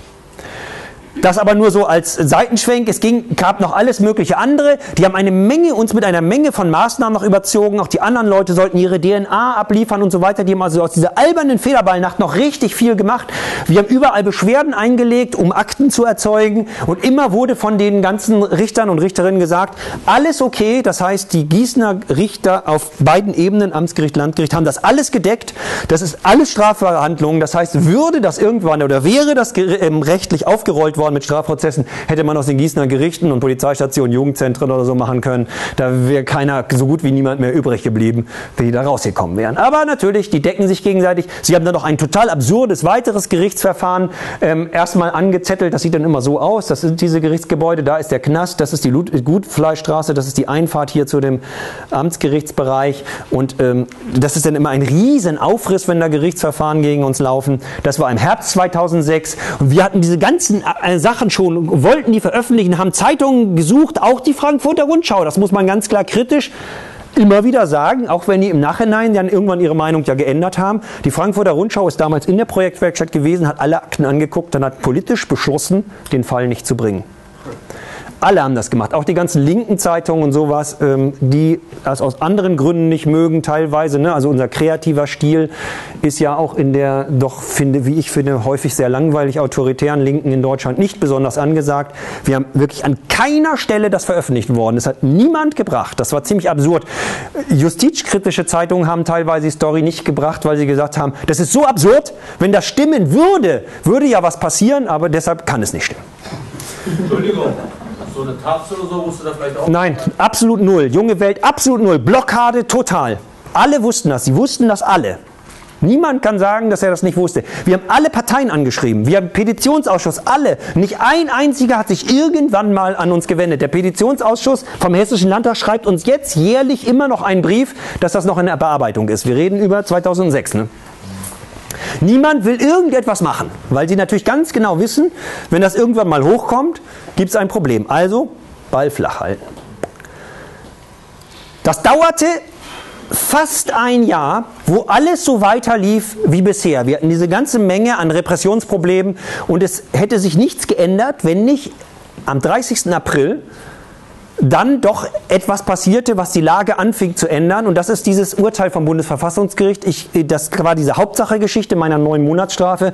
Und das Bundesverfassungsgericht hob tatsächlich komplett dieses Urteil auf so dass es weg war. Es musste neu verhandelt werden ähm, und ähm, damit war diese ganze Gefängnisstrafe, auch wegen, wegen der das ganze Jahr war, gab es nicht mehr. Und dann kam es aber noch dicker. Es war damals noch so, inzwischen ist das nicht mehr so, dass man bei freiheitsentziehenden Maßnahmen auch beim Oberlandesgericht nochmal eine Überprüfung anfragen konnte. Und das hatte ich gemacht. Alle Gießener Gerichte, hatte ich erzählt, haben immer gesagt, alles in Ordnung, alles in Ordnung. Und dann lief das ewig noch beim Oberlandesgericht. Und am 18. Juni 2007 fällten die ihren Beschluss. Und der hat es in sich. Da stand so drin erstmal der angefochtene Beschluss des Landgerichts und der Beschluss des Amtsgerichts vom 14.05.2006 werden abgeändert. Es wird festgestellt, dass die Ingewahrsamnahme des Betroffenen rechtswidrig war. Und dann geht es in die äh, Begründung hinein und da schreiben sie das mit den Zahlen, dass das doch vollkommen klar war. Der ist beim Badmintonspielen beobachtet worden, dann kann da das andere doch gar nicht gewesen sein. Das stellen die beim OLG fest und denken sich natürlich auch, das haben die in Gießen wohl auch gewusst. Warum haben die dann so beschlossen? Und da sind jetzt einige Formulierungen drin, die schon ziemlich deutlich sind. Zum Beispiel, was das Amtsgericht zu seiner Annahme veranlasst hat, bleibt im Dunkeln. Also das ist eine sehr herbe Kritik, denke ich, von einem Gericht an das andere. Und dann kommt der Absatz, der es finde politisch das brisanteste ist. Da das Instrument des Gewahrsams während der Nazizeit äußerst massiv missbraucht wurde, sollte es durch die Tatbestandsmerkmale unerlässlich und unmittelbar bevorstehend rechtlich unmöglich gemacht werden, dass die Vorschrift zu einer Ermächtigung zum sogenannten Vorbeugegewahrsam, früher Schutzhaft, ausgeweitet wird. Und dann der Satz, diese Voraussetzungen lagen hier von Anfang an sämtlich nicht vor. Es ist in Gießen ohne Probleme möglich, ohne dass man bestraft werden kann, der Polizei und der Justiz zu sagen, dass sie mit Methoden des Dritten Reiches arbeiten. Das ist nicht mehr als Beleidigung angreifbar, weil gerichtlich festgestellt. Aber auch dieses Urteil haben wir nirgends veröffentlichen können. Unglaublich. Also wir fanden das äh, geht gar nicht. Was geht hier ab? Aber es veränderte in Gießen doch einiges. Jetzt bekam die andere Seite Angst, dass dieser ganze Vorgang mit dem Federballspiel irgendwann mal öffentlich werden würde und reagierte auf eine beeindruckende Art und Weise. Sie ließen uns vollkommen in Ruhe. Seit dem 18. Juli 2007 gibt es in Gießen so gut wie keinen Stress mehr mit der Polizei. Ja, ganz im Gegenteil. Du kannst lässig Straftaten machen. Ich habe das mehrfach erlebt. Leute klettern irgendwo und dann unten die Polizei ruft in der Zentrale an, die klettern jetzt hier hoch am Gericht und sowas. Und immer aus dem Funkgerät, lassen Sie die klettern definitiv keine Lust mehr oder sowas. Oder wenn wir im Container sind und dann kommt die Polizei da an, weil aus dem Müll leben ist ja verboten, ne? dann gehen wir immer so lässig mit irgendwelchen Joghurts auf die zu, wollen sie auch ein. Die, die legen nur noch den Rückwärtsgang ein und sind weg, wenn sie sehen, wer da ist. Also das hat Ruhe, also immer in diesen Vorteil hat es geschaffen und in diesen Vorteil hinein haben wir dann auch diese Öffentlichkeitsarbeit machen können, das Buch gemacht, verschiedene Veranstaltungen machen können. Und das führte wiederum zu interessanten Effekten. Zum Beispiel der Polizeireporter des Gießener Anzeigers besuchte einmal diese Veranstaltung, die ich im Kino Traumstern in Licht gehalten hatte im Kreis Gießen und hörte sich das so an. Also das ist ein absoluter Gegner von uns gewesen. Also er ist Polizeireporter der Gießener Anzeiger und sehr, sehr neutral. Er ist nämlich auch noch äh, Vorstandsmitglied im, äh, im Verein Pro Polizei Gießen und gleichzeitig halt der zuständige Themen Themenredakteur. Und der hörte sich das an und rief dann bei der Staatsanwaltschaft Gießen an. Sagen Sie mal, was machen Sie denn da eigentlich? Das ist doch wohl derart gut belegt, da müssen Sie doch irgendwas machen. Und dieser Anruf erst bei der Staatsanwaltschaft, jetzt sind wir schon richtig lange über das Ereignis an, eineinhalb Jahre hinweg, führt bei der Staatsanwaltschaft Gießen zu einer bemerkenswerten Entscheidung. Im Herbst 2007 erklärt sich die Staatsanwaltschaft Gießen für befangen. Sie können da nicht ermitteln. Das führt dazu, dass keine Staatsanwaltschaft mehr zuständig ist. Daraufhin beauftragt der Generalstaatsanwalt in Wiesbaden die ähm, dortige äh, Staatsanwaltschaft, also der, der Generalstaatsanwalt in Frankfurt beauftragt die Staatsanwaltschaft in Wiesbaden als externe Staatsanwaltschaft zu ermitteln. Und diese Staatsanwaltschaft stellt dann irgendwann einfach ein und wir haben immer vermutet, dass sie gar nicht ermittelt haben. Wie wir heute wissen, war diese Annahme falsch. Sie haben eingestellt, weil sie ermittelt haben. Sie beauftragten diese LKAler, von denen habe ich euch einiges zitiert. Die haben super genau hingeguckt. Also ich habe selten so ein perfektes Ermittlungsergebnis von deutschen Polizisten gesehen. Und als sie das der Staatsanwaltschaft vorgelegt haben, haben die sofort gesagt, einstellen. Keiner guckt da mehr weiter hin, weil, genau weil es so ein klares Ergebnis gebracht hat. Und sie stellten dann ein und wir hatten die Akten ja noch nicht, das war Ende 2008. Und da hat der Hessische Rundfunk erstmals überhaupt, also der hat ja nie darüber berichtet, ähm, dass zum Beispiel gegen Bouffier ermittelt wird. Aber als es dann eingestellt wurde, da haben die dann einen Bericht gemacht. Das war dann halt 2008, also es geht dann gleich noch ein bisschen weiter mit den allerneuesten Erkenntnissen, aber der kleine Spot mal zwischendurch, Hessischer Rundfunk 2008. Der Versuch des 44-Jährigen, den Fall zur Staatsaffäre aufzuwerten, ist nicht gelungen. Die Staatsanwaltschaft Wiesbaden hat jetzt die Ermittlungsakten gegen den Minister geschlossen, weil sich keine Anhaltspunkte für Bouffiers Beteiligung an der Straftat gefunden hätten, sagt Oberstaatsanwalt Hartmut Ferse. Ihm ist Rechtsbeugung und Freiheitsberaubung vorgeworfen worden.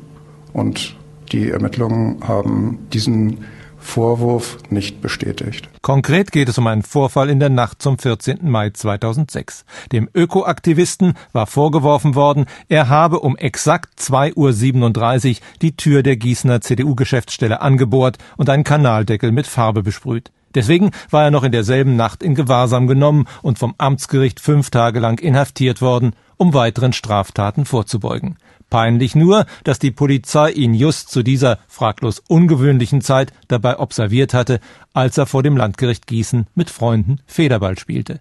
Das Oberlandesgericht rückte ein Jahr später, dass dieses entscheidende Entlastungsmoment nicht berücksichtigt worden war. Da sei im Polizeibereich einiges schiefgelaufen, findet Verse. Das sagt ja schon die Entscheidung des Oberlandesgerichts. Das ist eine rechtswidrige Entscheidung seinerzeit gewesen ist, weil die Umstände nicht so waren, wie die Gerichtsentscheidungen es angenommen haben. Und dem muss natürlich nachgegangen werden. Und weil so etwas ohne den Innenminister nicht erklärbar sei, meint der Betroffene, folgte damals der Rundumschlag mit den Strafanzeigen, auch gegen Bouffier. Doch der Verdacht gegen den und die meisten Justizvertreter konnte jetzt entkräftet werden. Aber der Fall ist beileibe nicht erledigt. Verdächtig sind immer noch der damalige Gießener Ermittlungsrichter und etliche Polizeibeamte. Insgesamt sind 29 Beschuldigte bei uns aufgeführt. Gegen acht ist inzwischen eingestellt worden. Das heißt, gegen 21 wird noch weiter ermittelt. Dass die Vorgänge gegen den linken Öko- und Politaktivisten brisant geworden sind, zeigt schon der Umstand, dass die Ermittlungen nicht in der Region, sondern in Wiesbaden geführt werden. Begründet Hartmut Ferse. Wir haben dieses Verfahren durch eine besondere Zuweisung erhalten damit nicht der Anschein entsteht, dass eine Krähe der anderen nicht das Auge aushackt, sprich die Justiz in Gießen über Vorgänge ermittelt und entscheidet, die in Gießen gespielt haben. Aber wann die Ermittlungen zum Ende kommen, weiß man noch nicht. Ebenso, ob am Ende auch tatsächlich ein Verantwortlicher gefunden wird.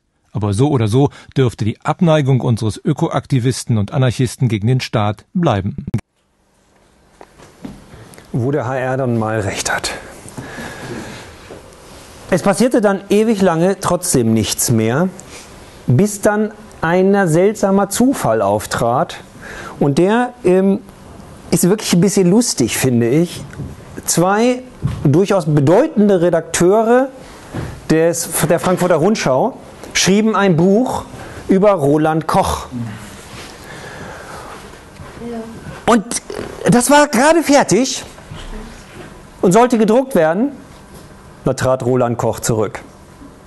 Das ist propagandistisch nicht günstig. Was machen? Sein Nachfolger wurde Volker Bouffier. Aha, der ist ja immerhin aus dieser Tankstellen-Connection, ne, also aus diesem Freundeskreis von äh, Roland Koch. Da lässt sich doch bestimmt irgendwas machen. Aber ähm, der Plan also, das Buch zu erweitern, Roland Koch und Volker Bouffier. Jetzt brauchen wir einen Fall über Bouffier. Ein paar lassen sich da anfügen, aber die kennt schon jeder. Gibt es irgendetwas, was noch niemand kennt? Oh, haben wir nicht selber mal eine solche Sache zensiert? Und so gelangte das Federbeispiel als Kapitel in dieses Buch und ist durchaus einer der Aufhänger inzwischen geworden. Ähm, und die FR begann mit Erscheinen des Buches eine riesige Kampagne um dieses Federbeispiel. Ähm, das war Ende 2009, wann war denn das? Jedenfalls gab es eine Riesenmenge von Artikeln in der Frankfurter Rundschau. Bouffier sei jetzt unter Druck und hätte Probleme und sowas. Das hat so meines Erachtens nicht gestimmt. Und es ist auch in den anderen Medien so nicht mitgegangen worden. Und so gab es dann verschiedenste, immer wieder riesigen Artikel. Das sind jetzt diese Internet-Ausschnitte, aber das waren echt teilweise ziemlich riesige Artikel in der Frankfurter Rundschau. Und niemand sprang drauf an. Außer, dass die SPD eine Anfrage stellte im Innenausschuss, was denn jetzt daran so sei. Und jetzt machte die CDU einen, äh, einen folgereichen Fehler. Sie antwortete darauf ein, einfach gar nicht. Das ärgerte die innenpolitische Sprecherin Nancy Faeser von der SPD, die sich daraufhin nicht darüber aufregte, was mir passiert ist, sondern was ihr passiert ist, nämlich, dass sie keine Antwort gekriegt hat. Und dieser Fehler führte jetzt dazu, dass das so langsam hochkochte. Parallel dazu, jetzt kamen immer neue Geschichten, jetzt lief der Innenausschuss und immer noch dieses komische Ermittlungsverfahren. Das wurde dann tatsächlich irgendwann eingestellt. Und ähm, das steht zum Beispiel in diesen ganzen Einstellungen und in dem endgültigen Schreiben. Es fehlt hier insbesondere an dem erforderlichen bewussten Rechtsbruch. Ne? Also wenn man sich diese ganze Story so hört, dann sieht man, jetzt überschreiten wir die Fünf-Jahres-Grenze dann irgendwann. Ähm, und dann läuft das Ganze vor dem ähm, vor dem Oberlandesgericht wird dort auch abgeschmettert. Wir kommen aber endlich an die, äh, dann an die allerletzten Akten ran, nämlich an diese vom Hessischen Landeskriminalamt. Und wenn man sich diesen Satz so überlegt, bei dem, was wir jetzt alles wissen, und dann vielleicht auch noch mal reinguckt, äh, das ist so der Header von diesem Ermittlungsbericht, und da sind eine ganze Menge noch sehr, sehr interessanter Ausführungen drin. Die kann ich jetzt hier alle nicht vortragen. Das ist richtig lang, also die Akte hat insgesamt 4000 Seiten diese, allein der Text, den die zusammenschreiben, sind, dürften ungefähr 50 Seiten sein, so, ähm, ähm, und da findet man halt so Sachen, zum Beispiel, dass die darüber überlegen, dass ich eingelocht worden bin nach, äh, nein, die Observation ist nach hessischem Sicherheits- und Ordnungsgesetz gemacht worden, das ist Präventivrecht, Polizeirecht. Ziel war aber ja, mich festzunehmen bei einer Straftat, das ist Strafprozessrecht. Das geht überhaupt nicht zusammen. Also schon der, die ganze Anordnung von Anfang an, eine Observation nach StPO kann man nur machen, wenn schon ein Tatverdacht vorliegt zu etwas, was schon passiert ist. Ähm, und die haben es aber jetzt gemacht, um etwas, was in der Zukunft liegendes und sowas. Das steht da ziemlich deutlich drin. Dann ist hier auch nochmal ähm, genannt worden, dass auch der Auftrag an das mobile Einsatzkommando, die Observation und die Festnahme während einer relevanten Straftat war. Das war der Auftrag an das mobile Einsatzkommando. Und da sind die immer so, äh, schreiben die immer so, dass also letztlich der beweisgesicherte Festnahme endet. Es soll also eine Straftat, die Polizei wünscht sich eine Straftat. Das war auch noch ein interessanter Absatz, da schreiben sie so ein bisschen zusammen, das ist ihr Endbericht dann, dass der Anzeigerstatter, also ich, hat zudem nur gegen wenige Beamte konkret Strafanzeige erstattet, 29. Es scheint also bedeutend mehr zu sein, wo die Landeskriminalamtsermittler der Meinung sind, gegen die müsse man auch ermitteln. Oder halt ähm, zum Beispiel um 3.42 Uhr wurde bereits das Landespolizeipräsidium informiert und da schreiben die Ermittler auch, warum wurde eigentlich immer das Landespolizeipräsidium informiert. Das ergibt gar keinen Sinn, das ist nicht normale Praxis. Man kann das auch aus deren ähm, Bericht halt sehen, ähm, was alles dort ähm, an Seltsamkeiten läuft. Aber wie gesagt, es ist jetzt alles eingestellt. Strafrechtlich ist alles abgehandelt, da geht gar nichts mehr. Es läuft noch im Innenausschuss. Es könnte also nur da was passieren. Da sitzen halt die Parteien zusammen. Und äh, zum Abschlusse, ähm, also oder fast zu, zum Abschlusse, will ich dann auch nochmal die CDU, den entsprechenden CDUler, kommentieren lassen, wie der die Sache ähm, sieht. Niemand stellt in Abrede, dass er vier Tage inhaftiert war und dass dafür in diesem Fall keinen Grund gab. Das wird überhaupt nicht bezweifelt. Was wir aber auch sagen, ist, dass sich hier die Opposition vor den Karren eines Anarchisten spannen lässt. Wir leben also offensichtlich in einem Land, wo eine Partei regiert, die der Meinung ist, dass es vollkommen korrekt ist, dass man Leute an die Wand stellt und nach Standrecht äh, behandelt. Das sagt er sogar ganz offen aus, ähm, dass das halt nicht geht. Aber wie gesagt, das sind äh, so die, die Höhepunkte ähm, aus dieser ganzen Geschichte. Ich habe drei Fallbeispiele herausgewählt. Natürlich dieses, was momentan immer noch in der Debatte ist. Eigentlich sind es aber viel mehr Fallbeispiele. Wer im Internet nachgucken will oder in diesem Buch oder wie auch immer, wird noch eine ganze Menge absurdester Stories ähm, zu lesen ähm, bekommen. Wichtig ist mir aber eben auch mit dem Ganzen von meiner Seite aus deutlich zu machen, wir leben in einem Land, wo ich finde, dass sehr, sehr unbegründet Justiz, obwohl ja schon alleine von der, wie das inszeniert ist, das Mobiliar, dieses aneinander, dieses organisierte aneinander vorbeireden, dieses, diese soziale Kälte, die in diesen Sälen herrscht, Leute in Kneste stecken, dass da unglaublich viel sowieso schon vom Prinzip, wenn alles gut laufen würde, schon sehr, sehr fragwürdig ist, ob so etwas wirklich eine sinnvolle Einrichtung der Gesellschaft ist. Und wenn ich mir dann eingucke, was hinter den Kulissen feststellbar ist, dass da gelogen wird, dass da Beweismittel gefälscht werden, dass man eigentlich überhaupt nichts mehr glauben kann, wenn man irgendjemand festgenommen wird wegen Graffitis, nicht nur in Frage stellen, ob das wirklich Täter oder Täterin war, sondern in Zukunft auch in Frage stellen, ob es das Graffiti überhaupt gegeben hat oder ob es die Polizei selber gesprüht hat. Nichts kann man dort irgendwie aus Machtinteressen wird dort alles Mögliche ähm, gefälscht, weswegen ich durchaus der Meinung bin, ähm, dass es angemessen ist, ähm, diese Sache sehr viel grundlegender zu kritisieren, als das bisher meistens gemacht wird. Und auch ein bisschen wollte ich dafür ja auch werben, es sich lohnt, vielleicht treffen wir uns tatsächlich irgendwann mal hier zu, vielleicht für das eine oder andere Training, es sich auch lohnt, kreative, offensive Handlungsweisen zu ähm, entwickeln, die in der Lage sind, dem etwas entgegenzusetzen. Das ist also jetzt nicht jetzt unbedingt ein Aufruf zu Militanz oder so etwas. Ich liebe das filigrane, subversive, kreative, was die Herrschaftsverhältnisse, die uns da draußen ständig begegnen, halt demaskiert. Und vielleicht haben ja Leute Lust, ähm, äh, dass man sich sowas auch mal aneignet. Vielleicht könnt ihr das auch so schon und man, dass hier auch so selber so Sachen so abgehen. Ich finde jedenfalls, es ist absolut lohnenswert, in diesem Betrieb von Justiz und Polizei nicht nur ähm, irgendwelche Sandkörner ins Getriebe zu werfen, sondern richtig große Felsbrocken oder Holzschuhe, wie ja der, wo der Begriff Sabotage herkommt, was auch immer. Dieses System zu stoppen, finde ich, lohnt sich allemal.